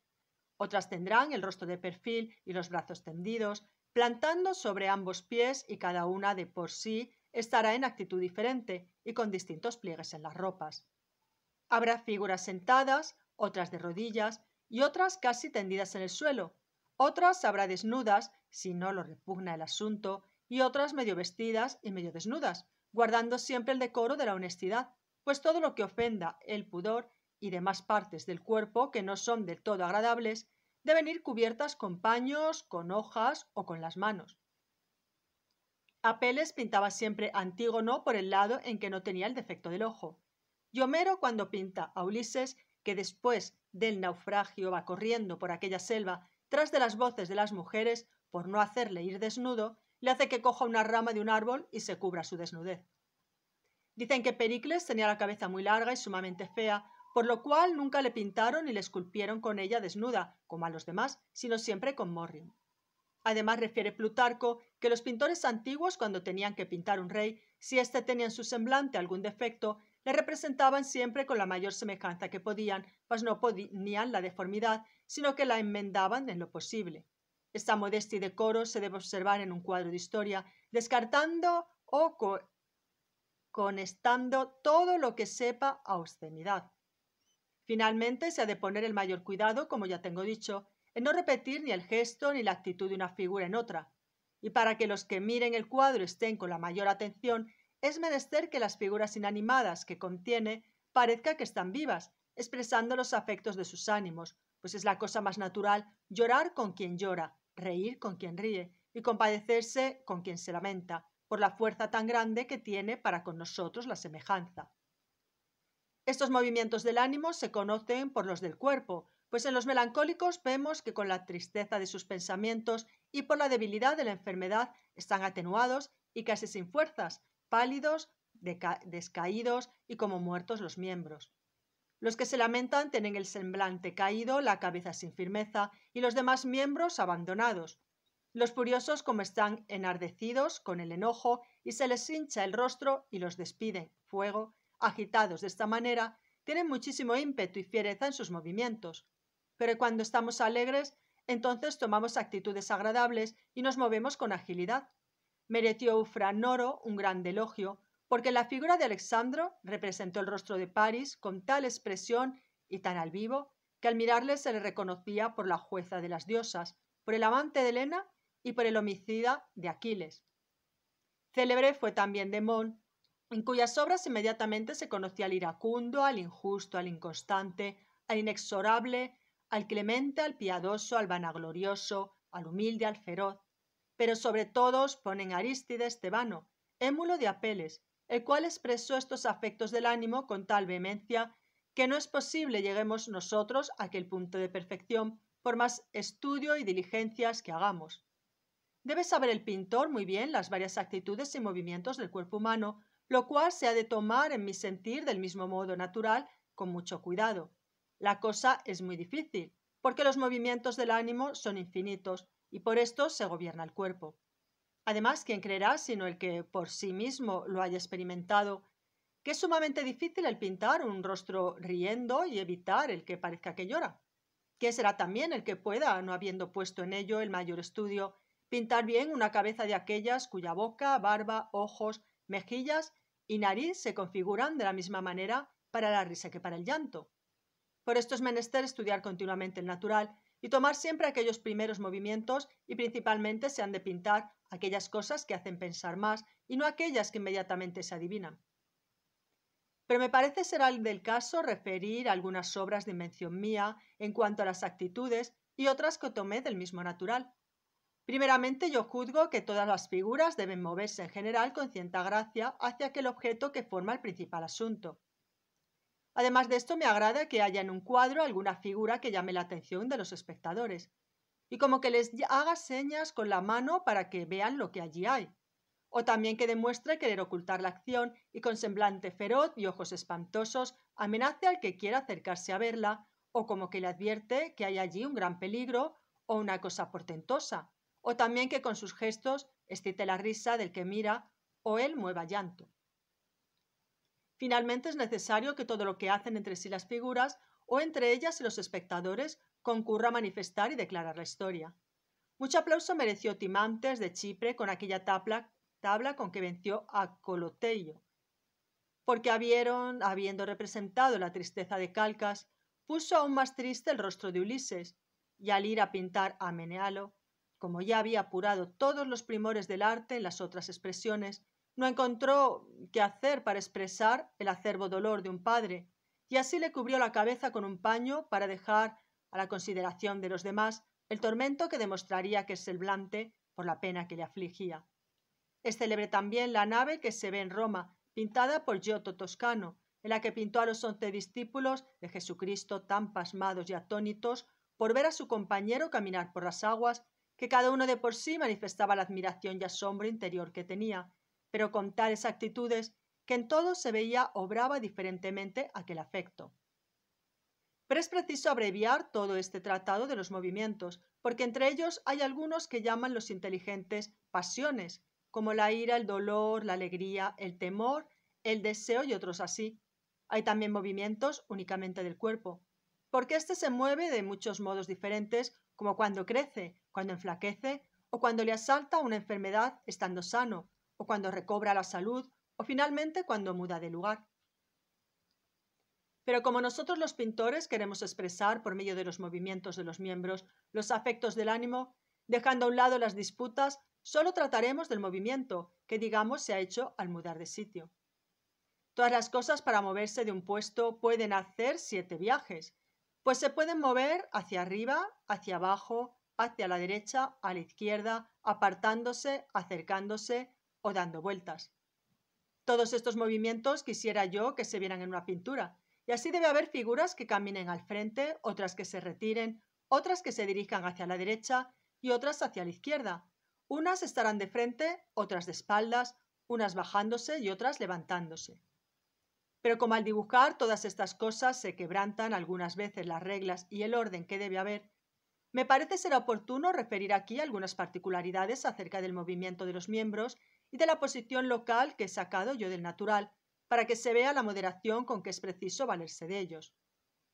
El hombre, según he observado, en todas sus actitudes pone siempre el tronco del cuerpo perpendicularmente debajo de la cabeza, que es lo que pesa más en todo él. Siempre que un hombre planta sobre un pie solo, queda el pie sirviendo de base perpendicular a la cabeza y casi siempre se endereza el rostro hacia donde vuelve la punta de tal pie. En cuanto a los movimientos de la cabeza, nunca son de modo que no tenga debajo de sí, vuélvase al lado que se vuelva, alguna parte del cuerpo que la sostenga, a menos que no extienda el un brazo a la parte opuesta para que sirva de contrapeso. Vemos por experiencia que cuando un hombre con el brazo extendido sostiene en la mano algún peso, estira atrás el pie para que contrapese y caiga sobre él todo el cuerpo para que no falsee. Un hombre puesto de pie derecho no puede levantar la cabeza más que para mirar la mitad del cielo, ni puede volverse a un lado sino hasta tocar con la barba en el hombro. Tampoco podemos volvernos por la cintura hasta que quede el hombro perpendicular con el ombligo, sino algo menos. Los movimientos de las piernas y de los brazos son más libres, con tal que con su postura no ofendan al pudor. Por lo regular, las manos nunca se levantan más que la cabeza, ni el codo más que los hombros, ni el pie más que la rodilla, ni tampoco se aparta del otro más distancia que su longitud. He observado que cuando levantamos un brazo, todas las partes del cuerpo de aquel lado siguen el mismo movimiento, pues hasta el talón del pie correspondiente se levanta del suelo por el movimiento del brazo. A este tenor hay muchas cosas que deberá advertir y notar el curioso y diligente, y recelo que las que hasta aquí he apuntado sean tan manifiestas y claras que parezca superflua su noticia, pero no he querido dejar de ponerlas porque a muchos he visto que han errado en ellas. Las actitudes y movimientos demasiado violentos hacen que en una sola figura se vean al mismo tiempo el pecho y los riñones, lo cual, siendo imposible en la ejecución, es también muy ingrato para la vista. Pero hay algunos que piensan que cuanto más esforzada y violenta está una figura en la posición de sus miembros, tanto más viva parece, y así olvidando la dignidad y decoro de una pintura, imitan los movimientos y ademanes de los truanes, por lo que sus obras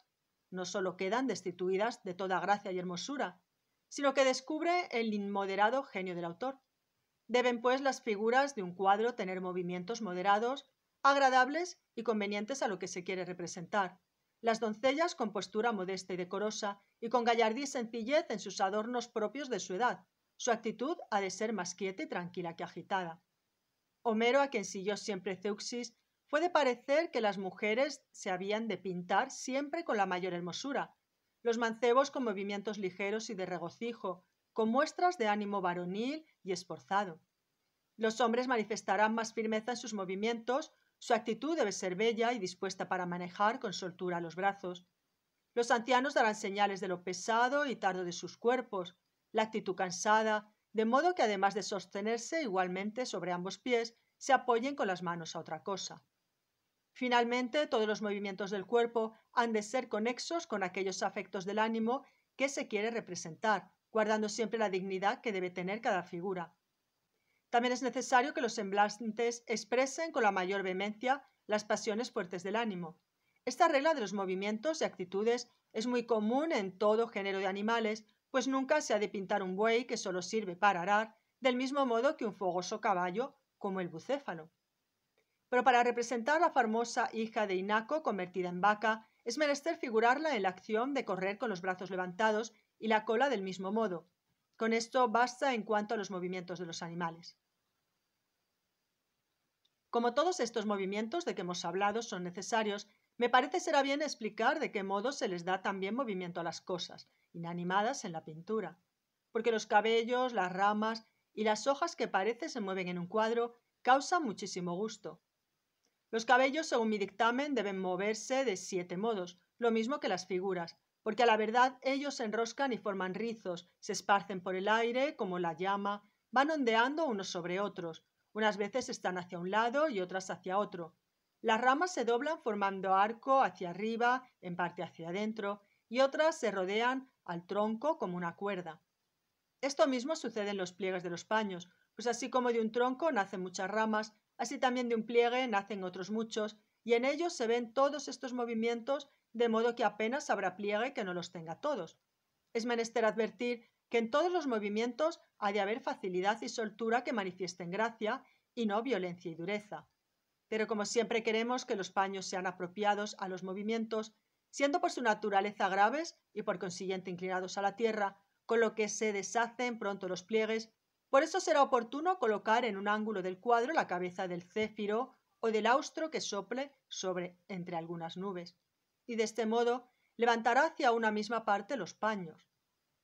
Así se conseguirá también que la parte de las figuras en donde bate el aire quedará ceñida de la ropa y se verá la gracia del desnudo por detrás de ella, y al otro lado las ropas ondeando en el viento con variedad de pliegues. En esto se observará que no vaya el movimiento de la ropa contra el viento, y que los pliegues no sean muy agudos ni redondos. Todo lo dicho acerca del movimiento de los animales y de las cosas inanimadas debe ocupar mucho la atención de los pintores al ejecutar lo que se ha explicado acerca de la composición de las superficies, de los miembros y de las figuras. Y puesto que ya se ha tratado de las dos primeras partes de la pintura, que son el dibujo o contorno y la composición, falta ahora hablar de la adumbración o del claroscuro. Ya se ha demostrado suficientemente la fuerza y virtud de la luz para variar los colores, pues sin alterarse de ningún modo estos hemos explicado de qué manera se manifiestan o más claros o más oscuros según la mayor o menor luz que reciban. Se ha dicho también cómo con el blanco y el negro se expresan en la pintura las luces y las sombras y que los demás colores vienen a ser la materia a que se agregan los varios accidentes de la claridad u oscuridad. Esto supuesto, dejando aparte todo lo demás, Debemos explicar ahora el modo de servirse el pintor del blanco y del negro.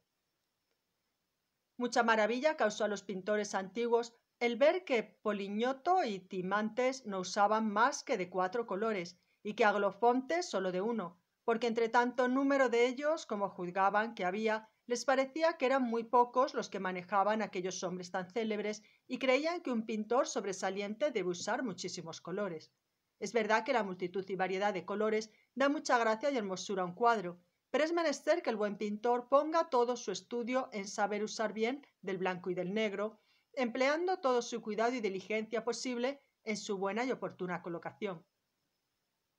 Pues así como las luces y sombras manifiestan a la vista los parajes en que se revelan las superficies y los que, que se esconden o se retiran y cuánto se dobla o declina cada parte, así también la buena disposición del blanco y negro hacia aquel efecto que tanto elogio acarreó a Nicias, pintor ateniense, y que con tanto cuidado deben buscar todos los profesores, que es el que la pintura tenga mucho relieve. Dicen que el célebre Zeusis fue el primero que supo poner en práctica esta regla del claro y oscuro y que ninguno de los otros pintores antiguos sobresalió en esta circunstancia. En mi dictamen, a nadie se le puede dar el título, ni aun de mediano pintor, que no sepa a fondo la fuerza que tienen todas las superficies, cada luz y cada sombra. Siempre alabaré aquella cabeza que, agrandando así la inteligentes como a ignorantes, tenga del relieve que parezca que sale del cuadro, y al contrario para mí ningún mérito tendrá aquella en que sólo se conozca el arte en el contorno. La composición debe ir bien dibujada y con buen colorido, y así para que un pintor llegue a merecer la deseada alabanza, debe ante todas cosas señalar las luces y las sombras, considerando que la superficie en que hieren los rayos de luz debe estar el color muy claro y luminoso, y después debe ir apagándose poco a poco y oscureciéndose. Finalmente es menester considerar cómo corresponden las sombras en la parte opuesta de las luces, pues ninguna superficie de ningún cuerpo iluminado hay en donde no se advierta una parte clara y la otra opuesta oscura y con este pertenece al saber imitar las luces con el blanco y las sombras con el negro. Por eso encargo se ponga el mayor estudio en conocer qué partes van tocadas de luz y cuáles de sombra. Esto se aprende por el mismo natural, y luego que se tiene un perfecto conocimiento de ello, se aclarará el color en su correspondiente sitio con blanco lo menos que se pueda, y en la parte opuesta se le rebajará con negro siempre parcamente. De este modo, con este contrapeso, digámoslo así, del blanco y el negro aparecen las cosas con mayor relieve. Después irán apretando estas plazas oscuras poco a poco hasta que se consiga el efecto que se busca, para la cual no hay juez como el espejo, en donde mirada una pintura bien hecha adquiere otra tanta más gracia, y al contrario, si está defectuosa, lo parece mucho más en él. Enviéndense, pues, con el espejo las cosas copiadas del natural y permítaseme apuntar aquí algunas que yo he observado. He visto por la experiencia que toda superficie plana conserva únicamente por todas partes su color, pero las cóncavas y convexas lo varían, pues por un lado son claras y por otro oscuras. Esta alteración de color en una superficie que no es plana aturde mucho a un pintor perezoso. Pero como haya apuntado con exactitud, según se dijo, la masa de la luz y de la sombra no tendrá dificultad al tiempo de dar el colorido, pues lo que será hará mezclar blanco o negro en aquella superficie señalada sin pasar de la división, con lo cual tendrá la primera mancha. Después seguirá apretando más el oscuro y aclarando el claro y deshaciendo cuidadosamente el uno con el otro en la división, de modo que se interne el primero en el segundo como si fuese humo, sin que haya nada recortado. Téngase presente que nunca se ha de hacer una superficie blanca enteramente. Aun al pintar una vestidura blanca, no se ha de usar el color blanco puro, pues en la pintura solo el blanco puro es con lo que puede el pintor representar la mayor fuerza de la luz y con el negro la mayor oscuridad y tinieblas de la noche. En las ropas blancas se ha de usar uno de los cuatro géneros de blanco, que sea bastante claro, y en los paños negros se ha de emplear el color más oscuro. Finalmente, el blanco y el negro, usados con destreza y arte, representan a los ojos superficies de oro y plata y de resplandeciente cristal. Por esto son muy dignos de reprensión algunos pintores que indiscretamente usan el blanco y el negro y sin miramiento alguno, de modo que yo quisiera que el blanco costase más caro que el color más exquisito, o que solo se hiciese dicho color y el negro de aquellas perlas de Cleopatra que ablandaba a fuerza de vinagre para que no los desperdiciasen tanto. De esta suerte tendrían las pinturas más gracia y más verdad, porque no es posible ponderar lo que aprovecha a una obra que se use en ella con parsimonia el negro y el blanco. Zeuxis solía reprender a los pintores porque no sabían en qué consistía la demasía, y en caso de disimular algún error, más bien se puede disculpar a los que gastan mucho negro que a los que usan mucho blanco. La práctica del pintar me ha hecho conocer que la naturaleza misma aborrece la oscuridad y apetece la claridad. Y así conforme vamos adelantando, siempre nos inclinamos más a la hermosura de las luces y todos amamos lo claro y alegre, por lo cual es menester poner freno a la mayor inclinación y propensión que tenemos, porque allí es más fácil el errar. Esto basta en cuanto al blanco y al negro. En cuanto a los demás colores, es menester observar también cierta regla, de lo cual hablaremos ahora brevemente. No diremos en dónde se halla el buen cinabrio o vermellón o aquellos colores más exquisitos, sino de qué modo se han de mezclar entre sí los colores más excelentes y se han de hacer las tintas necesarias para pintar. Dice que en Franoro, pintor antiguo, escribió un tratado de esto, mas ya no existe. Nosotros, que hemos sacado a la luz pública el arte de la pintura, ya sea publicando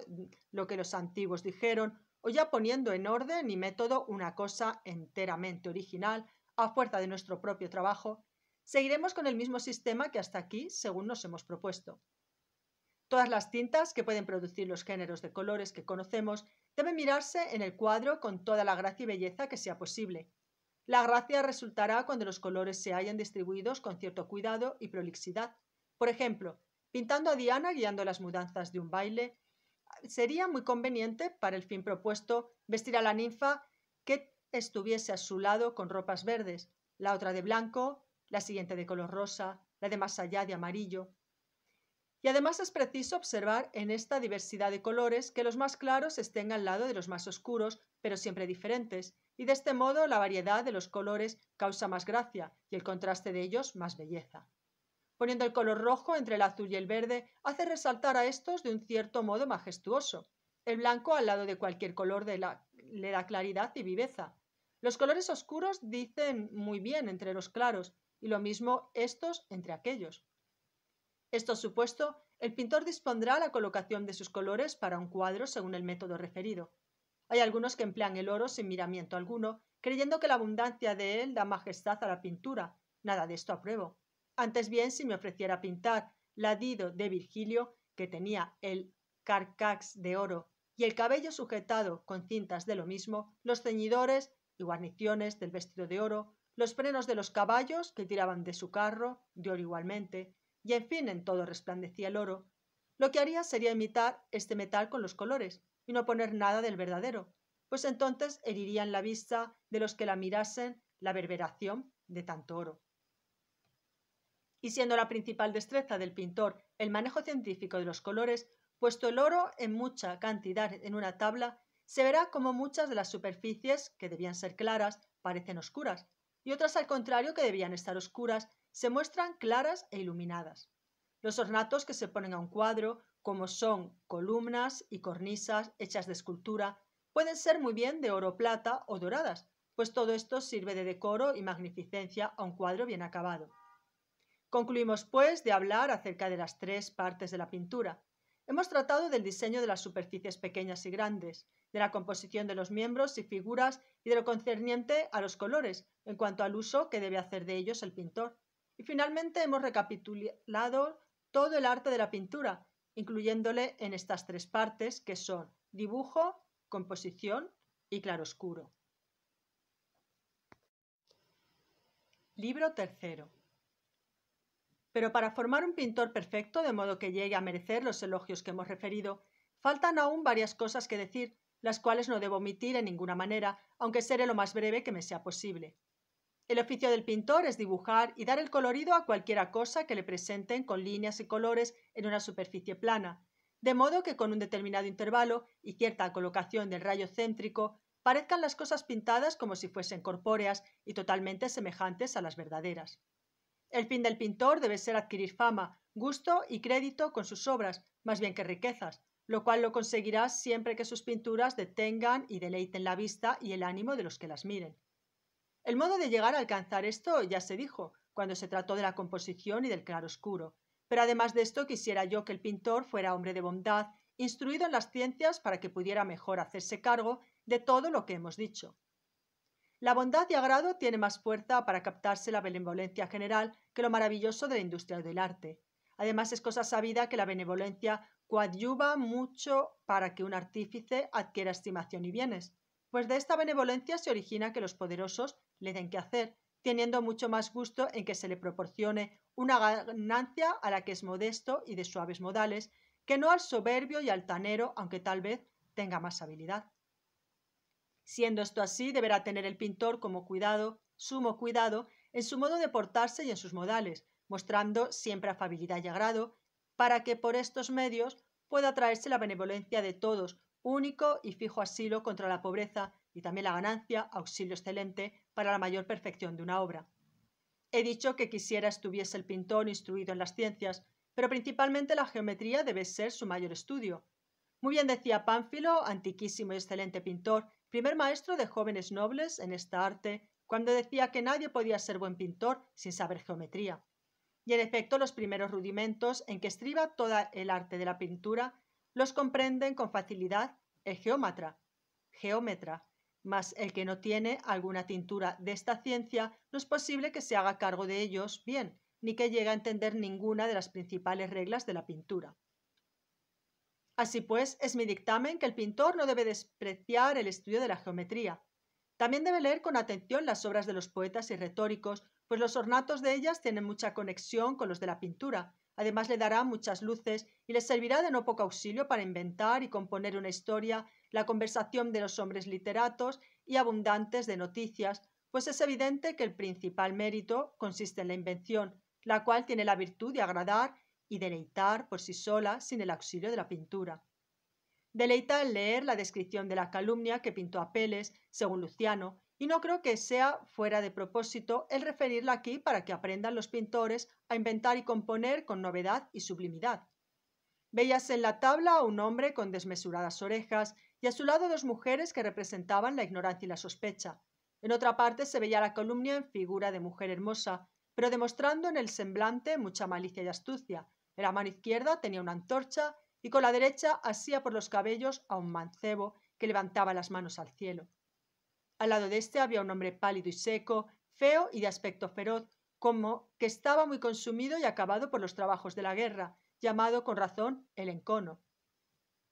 Acompañaban también a la calumnia otras dos mujeres, que eran la sechanza y la mentira, y la componían los adornos. Después se veía la penitencia o arrepentimiento vestida con una ropa oscura y sucia en acto de arañarse, con violentas contorsiones, y detrás de ella iba la vergonzosa y honesta verdad. Este cuadro, cuya sola descripción deleita el ánimo, cuánto gusto causaría el verle pintado de mano de tal maestro. ¿Qué diremos de aquellas tres hermosas doncellas, a quienes llama Hesíodo, Egle, Eufrosine, Italia, las cuales las pintaron asidas de las manos y vestidas de una ligera y transparente gasa sin ceñir, y querían que significasen la libertad?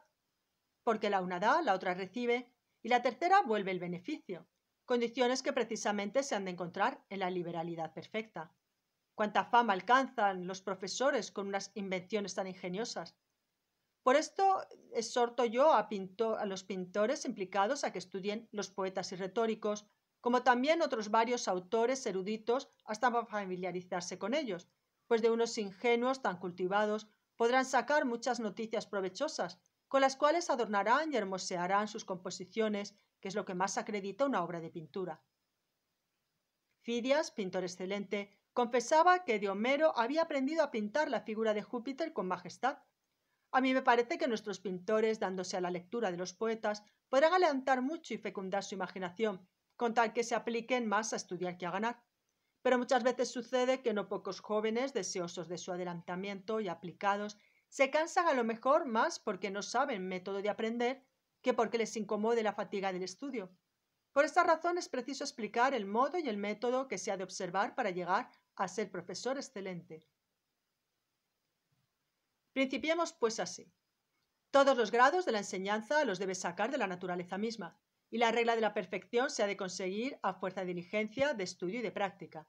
Yo quisiera que los principiantes de pintura hicieran lo que hacen los maestros de escribir, los cuales enseñan primero a formar las letras separadas, luego a juntar las sílabas y últimamente las palabras. Lo mismo se debe observar en la pintura. Lo primero se ha de enseñar a hacer el contorno de las superficies, que son como el alfabeto de la pintura. Después se enseñará a unir estas superficies y luego la forma de todos los miembros de la figura con distinción y separadamente, tomando de memoria todas las diferencias que puede haber en ellos, que son muchas y muy notables. Hay muchas personas que tienen la nariz encorvada, otras chata, torcida o ancha. Algunas tienen los labios prominentes que parece que se les cae la boca, y otras cuyos labios son tan sutiles que las agracia infinito. Y en fin, todos los miembros tienen un cierto punto de propiedad y proporción que a nada que se altere causará extraña variación en él. Los miembros de un niño son redondos, de modo que parece están hechos a torno, según lo lustroso que son, y luego que llegan adultos ya se vuelven ásperos y se varían. Todo esto lo aprenderá el pintor aplicado en la naturaleza misma y examinará por sí propio con reflexión las formas particulares de cada cosa, considerándolas y mirándolas con la mayor atención y cuidado. Considerará la actitud que guarda en el que está sentado y cómo doblan las piernas en ella y caen sin violencia alguna. Considerarán la postura del que está en pie y, en fin, no debe haber parte en toda la figura de que no tenga noticia, de quien no sepa el oficio y la proporción, eligiendo siempre entre todas no solo las más propias y semejantes, sino las más bellas. El antiguo pintor Demetrio se aplicó más a expresar los objetos con la mayor propiedad que podía que a elegir los más bellos y agraciados. Por esta razón se han de escoger entre todas las figuras aquellas partes más bellas y proporcionadas, poniendo todo el cuidado posible en saber en qué consiste la verdadera belleza para ejecutarla en todo. Esto es sin duda sumamente difícil, porque nunca se encuentran en un solo sujeto todas las perfecciones de la belleza, sino que están repartidas en todos. Pero por lo mismo es preciso estudiar con el mayor conato por aprenderlo, pues el que sepa las cosas de más sublimidad y se ejercite en ellas hallará suma facilidad en las otras cuando se le ofrezca practicarlas. No hay cosa, por difícil y abstracta que sea, que no se pueda alcanzar a fuerza de estudio y práctica, pero para que el estudio no sea inútil o pernicioso, es menester huir de lo que hacen algunos, que buscan la alabanza y el crédito, trabajando guiados por su propia fantasía, sin sujetarse a considerar y mirar el natural, pues estos no aprenden a pintar bien, sino se sueltan la mano para desantinar. La idea de la verdadera belleza no solo no se deja descubrir por los ignorantes, sino que aun los que saben la disciernen con dificultad. Zeuxis, pintor famoso y el más sabio de mayor destreza, cuando tuvo que pintar la tabla que se había de exponer al público en el templo de Diana, lejos de fiarse de su propio ingenio, como hacen casi todos los pintores de estos tiempos, antes de ponerse a pintar de pura imaginación, pensó que para hacer una cosa totalmente bella, no solo no podía él idearla por sí solo, sino que aun cuando la quisiese tomar del natural, tampoco hallaría en un solo sujeto todas las perfecciones que buscaba. Y así eligió cinco doncellas, entre todas las de la ciudad, la más hermosa, y de ellas tomó aquellas partes más bellas y proporcionadas para trasladarlas a la pintura. Obró en esto Zeuxis como sabio, porque cuando los pintores no ponen a la vista lo que quieren imitar, sino que quieren hallar la belleza en sola su imaginación y adquirir fama de este modo, no solo no la adquieren con semejante trabajo, sino que se acostumbrarán a una pésima manera de pintar, que después no la pueden dejar aún a costa de los mayores esfuerzos. Pero el que se acostumbre a hacerlo todo por el natural, tendrá la mano tan hecha a lo bueno que todo lo que ejecute parecerá natural, que es lo único a que se anhela en la pintura. Pues si en un cuadro hallamos la cabeza de un hombre que conocemos, aunque al mismo tiempo haya en el lienzo mil primores del arte, con todo, nada atrae tanto la atención como el retrato conocido. Tanta fuerza y poder tienen en sí las cosas enteramente parecidas al natural. Esto supuesto, todo lo que haya de hacer el pintor debe estudiarlo antes por el natural, y luego se elegirán eh, de él las cosas que parezcan más bellas y más a propósito. Pero es menester no hacer lo que algunos que siempre pintan en tablas muy pequeñas. Antes, al contrario, nunca se debe pintar, sino en grande, de modo que las figuras sean a lo menos casi del mismo tamaño que el natural. En las figuras pequeñas se, se esconden muy bien aún los mayores defectos, pero en las grandes aún los mínimos están patentes. Escribe Galeno que vio un anillo en que estaba pintado Faetonte en su carro tirado de cuatro caballos, en donde se distinguían perfectamente los frenos, los pechos y los pies. Dejen los pintores este primor a los artífices plateros y ejercítense ellos en cosas más grandiosas, pues el que sepa pintar o modelar una figura grande podrá tal vez de un solo rasgo hacer una pequeña con perfección, pero los que están acostumbrados y hechos a trabajar cosas pequeñas fácilmente errarán en las grandes. Hay algunos que copian las pinturas de otro y adquieren reputación en este género de trabajo en el cual se ejercitó Camalides, escultor, quien hizo doce vasos imitando el estilo de Cenodoro, de suerte que no se diferenciaban en ninguna manera de las obras de éste. Muchos engañan los pintores y piensan que los que han llegado a ser maestros consumados en el arte han hecho otra cosa que procurar pintar los objetos del mismo modo que los pinta la naturaleza a nuestros ojos en la cuadrícula o velo. El que se dedique a copiar las obras de otro, por ser más fácil que copiar del natural respecto de que en la pintura están los objetos firmes, más bien quisiera yo que se ejercitaran en copiar obras de escultura, aunque fuesen medianas, que no pinturas, aunque fuesen muy buenas. Porque copiando un cuadro solo aprendemos a imitar y sacar un traslado parecido, pero copiando del modelo aprendemos a imitar y estudiamos al mismo tiempo el efecto de las luces, para lo cual ayuda mucho el mirarlas con los ojos algo cerrados a través de las pestañas, para que parezcan algo más oscuras las luces. Tal vez aprovechará más el ejercicio de modelar que la práctica del pincel, porque la escultura es arte más fácil que la pintura. Nadie podrá pintar bien una cosa sin que sepa perfectamente todos los relieves que tiene, y esto se aprende mejor modelando que pintando. Es evidente que en cualquier edad o época se pueden encontrar escultores a lo menos de mediano mérito, más pintores todos son a cual más miserables e ignorantes. Finalmente, sea en la pintura o en la escultura, siempre debemos tomar por modelo y dirección alguna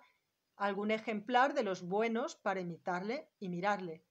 Y al tiempo de copiarle es menester que vaya unida la diligencia con la presteza, de modo que el pintor no levante nunca el pincel o lapicero de lo que trabaja sin haber resuelto y determinado decididamente en la imaginación lo que ha de hacer y el modo con que lo ha de perfeccionar, pues siempre es más fácil enmendar en la fantasía que borrar el error que ya ejecutó la mano. Además de esto, cuando ya estemos acostumbrados a copiar cualquier cosa del natural, habremos llegado a un grado más eminente que Asclepio Doro, de quien dicen que era el más veloz que se conocía en pintura, porque en aquello en que más ejercicio tenemos está más pronto el entendimiento, más apto y más vivo, y la mano, cuando va guiada por la regla más cierta y segura, trabaja con más soltura. El haber muchos pintores tardos es porque tienen recelo y miedo de emprender una cosa a la que no están muy hechos y que no poseen en fuerza del estudio que hayan tenido. Y mientras que andan por estas tinieblas de los errores, van tentando y buscando el camino que han de seguir con el pincel, a manera de los tímidos ciegos que van tocando con el palo la calle que no saben. Nadie, pues, se ponga a trabajar sin haber reflexionado antes lo que va a hacer y sin haberse ejercitado en ello mucho de antemano y siendo la principal obra de un pintor la historia, en donde se ha de encontrar la abundancia y la excelencia de todas las cosas, es preciso absolutamente saber pintar con perfección de todo, en cuanto alcance el entendimiento, no sólo la figura humana, sino la de todos los animales y demás objetos que percibe la vista y son dignos de mirarse, para que nadie eche menos en un cuadro aquella variedad y abundancia, sin la cual ninguna obra tiene estimación. Es particularidad verdaderamente grande y apenas concedida a los antiguos el ser no solo excelente en todas las cosas, sino ni aun mediano, pero es menester estudiar y poner de nuestra parte el mayor cuidado y estudio en todo aquello que puede acarrearnos mucho crédito y mucho vituperio en no saberlo. Nicias, pintor ateniense, pintó a las mujeres bellísimamente, pero Zeusis le aventajó como a todos los demás en esto. Heráclides fue excelente para pintar una nave, Serapión no supo pintar un hombre y en todo lo demás tenía habilidad. Alejandro, al que pintó la habitación de Pompeyo, fue sobresaliente en pintar todo género de cuadrúpedos, especialmente los perros. Aurelio, como que siempre estaba enamorado, nunca pintaba otra cosa que diosas, poniéndolas el rostro de la dama que amaba. Fidias gustaba especialmente de expresar en sus pinturas la majestad de los dioses más que no la belleza de los hombres. La habilidad principal de Noro era pintar héroes, poniéndolos tal aire y dignidad que nadie le igualó en ello. Así pues, no todos supieron hacer bien todas las cosas, sino que la naturaleza se dividió entre todos estos ingenuos según lo que más le adaptaba a cada uno. No por esto hemos de dejar nosotros de procurar instruirnos y ejercitarnos en todo. Antes bien debemos perfeccionar con el estudio y aplicación los dotes de la naturaleza, Tampoco hemos de dejar por negligencia cosa alguna que nos pueda servir de adquirir fama. Finalmente, cuando se nos ofrezca pintar una historia, imaginaremos primero el modo y el orden con que hemos de ajustar la composición, a fin de que haga el mejor efecto que sea posible. Y tanteando los pensamientos que nos ocurran en el papel, examinaremos del todo y las partes despacio, oyendo el parecer de nuestros amigos, y será nuestro mayor anhelo el pensar y meditar cada cosa de por sí, de modo que no haya objeto en toda la obra cuyo lugar y colocación no la sepamos bien. Para que esto se haga con más exactitud, se pondrá una cuadrícula delante de los modelos que se hayan hecho, para que al ir a unir y acordar la composición puedan colocarse las figuras en su respectivo lugar. Para perfeccionar el trabajo pondremos la posible diligencia junto con aquella celeridad necesaria para que no engendre tedio el acabarlo, pero no tanta que nos precipite el deseo de concluirlo. De cuando en cuando es preciso dejar el trabajo y recrear y despejar el ánimo, y no hacer nunca lo que muchos, que emprenden una obra y a la mitad la dejan para comenzar otra, sino concluir enteramente la que una vez empezó. Enseñó a Peles cierto profesor un cuadro y le dijo En un instante lo he pintado. A lo que le respondió a Peles Sin que tú lo dijeras, lo he conocido, y lo que extraño es que no hayas pintado infinitos de este modo. He visto muchos pintores y escultores y también muchos poetas y oradores, si es que hay en estos tiempos quien merezca tal nombre, que emprendieron con indecible ardor algunas obras, y habiéndose entibiado luego, dejaron lo principiado sin concluirlo ni perfeccionarlo y al mismo tiempo solía venirles al pensamiento otro proyecto, y lo empezaban con el mismo ahínco que el otro. De ningún modo apruebo yo este modo de pensar, porque todo aquel que quiera que sus obras agraden a la posteridad, es preciso que las castigue bien primero y las perfeccione con gran cuidado, pues en muchos casos sirve tanto la diligencia como el ingenio. Pero al mismo tiempo es menester huir de la superstición, digámoslo así, de algunos, los cuales con el deseo de que sus obras no tengan defecto alguno y estén con la posible perfección, consiguen que las consuma el tiempo antes que lleguen a estar concluidas. Los pintores antiguos murmuraban de Protógenes porque nunca sabía levantar la mano de lo que pintaba, y tenían razón, porque lo que se ha de procurar es poner en una cosa toda aquella diligencia de que es capaz el ingenuo, pero el querer más de lo que las propias fuerzas alcanzan o de aquello que conviene más propio es de un ánimo obstinado que diligente. Es pues necesario poner en todas las cosas una diligencia moderada, pedir consejo a los amigos, aun al tiempo de emprender el trabajo, y llamar para que vean la obra a algunos de cuando en cuando, y de este modo podrá llegar a, agradar a todos. Podemos hacer caso muy bien de las opiniones de la multitud siempre que no estemos presentes a ellas. Apeles dice en que solía esconderse detrás de la tabla que presentaba al público para que hablaran con más libertad y poder escuchar con más decencia los defectos que ponían a su obra. Con todo, yo quisiera que nuestros pintores oyesen sin reparo ni ser reserva lo que cada uno dijese francamente de las pinturas según su parecer, porque esto ayuda mucho para conocer la verdad de las cosas y para hacerse bien quistos. No hay nadie que no se precie de poder dar dictamen sobre una obra de otro. Y es menester hacerse cargo de que los dichos de los envidiosos y maldicientes en nada pueden cercenar una justa alabanza. Por esto el pintor debe escuchar lo que diga cada uno, pero antes debe juzgar por sí mismo su obra y corregirla lo más que pueda. Esto es lo que me ha parecido a propósito decir en este tratado, lo cual si puede de algún modo ser útil a los pintores, espero por único premio de mi trabajo que me retraten en las pinturas que hagan, para que de este modo acrediten a los futuros el agradecimiento que tuvieron al beneficio recibido y manifiesten que yo he sido profesor de esta arte. Pero si no ha correspondido mi obra al concepto que tenían formado de mí, a lo menos no me culparán de haberme creído yo alguna vez capaz de ello. Y si mi ingenio no ha podido acabar una cosa que sólo el intentarla es laudable, acuérdense que en las empresas de mucha dificultad Suele ser mérito el emprenderlas.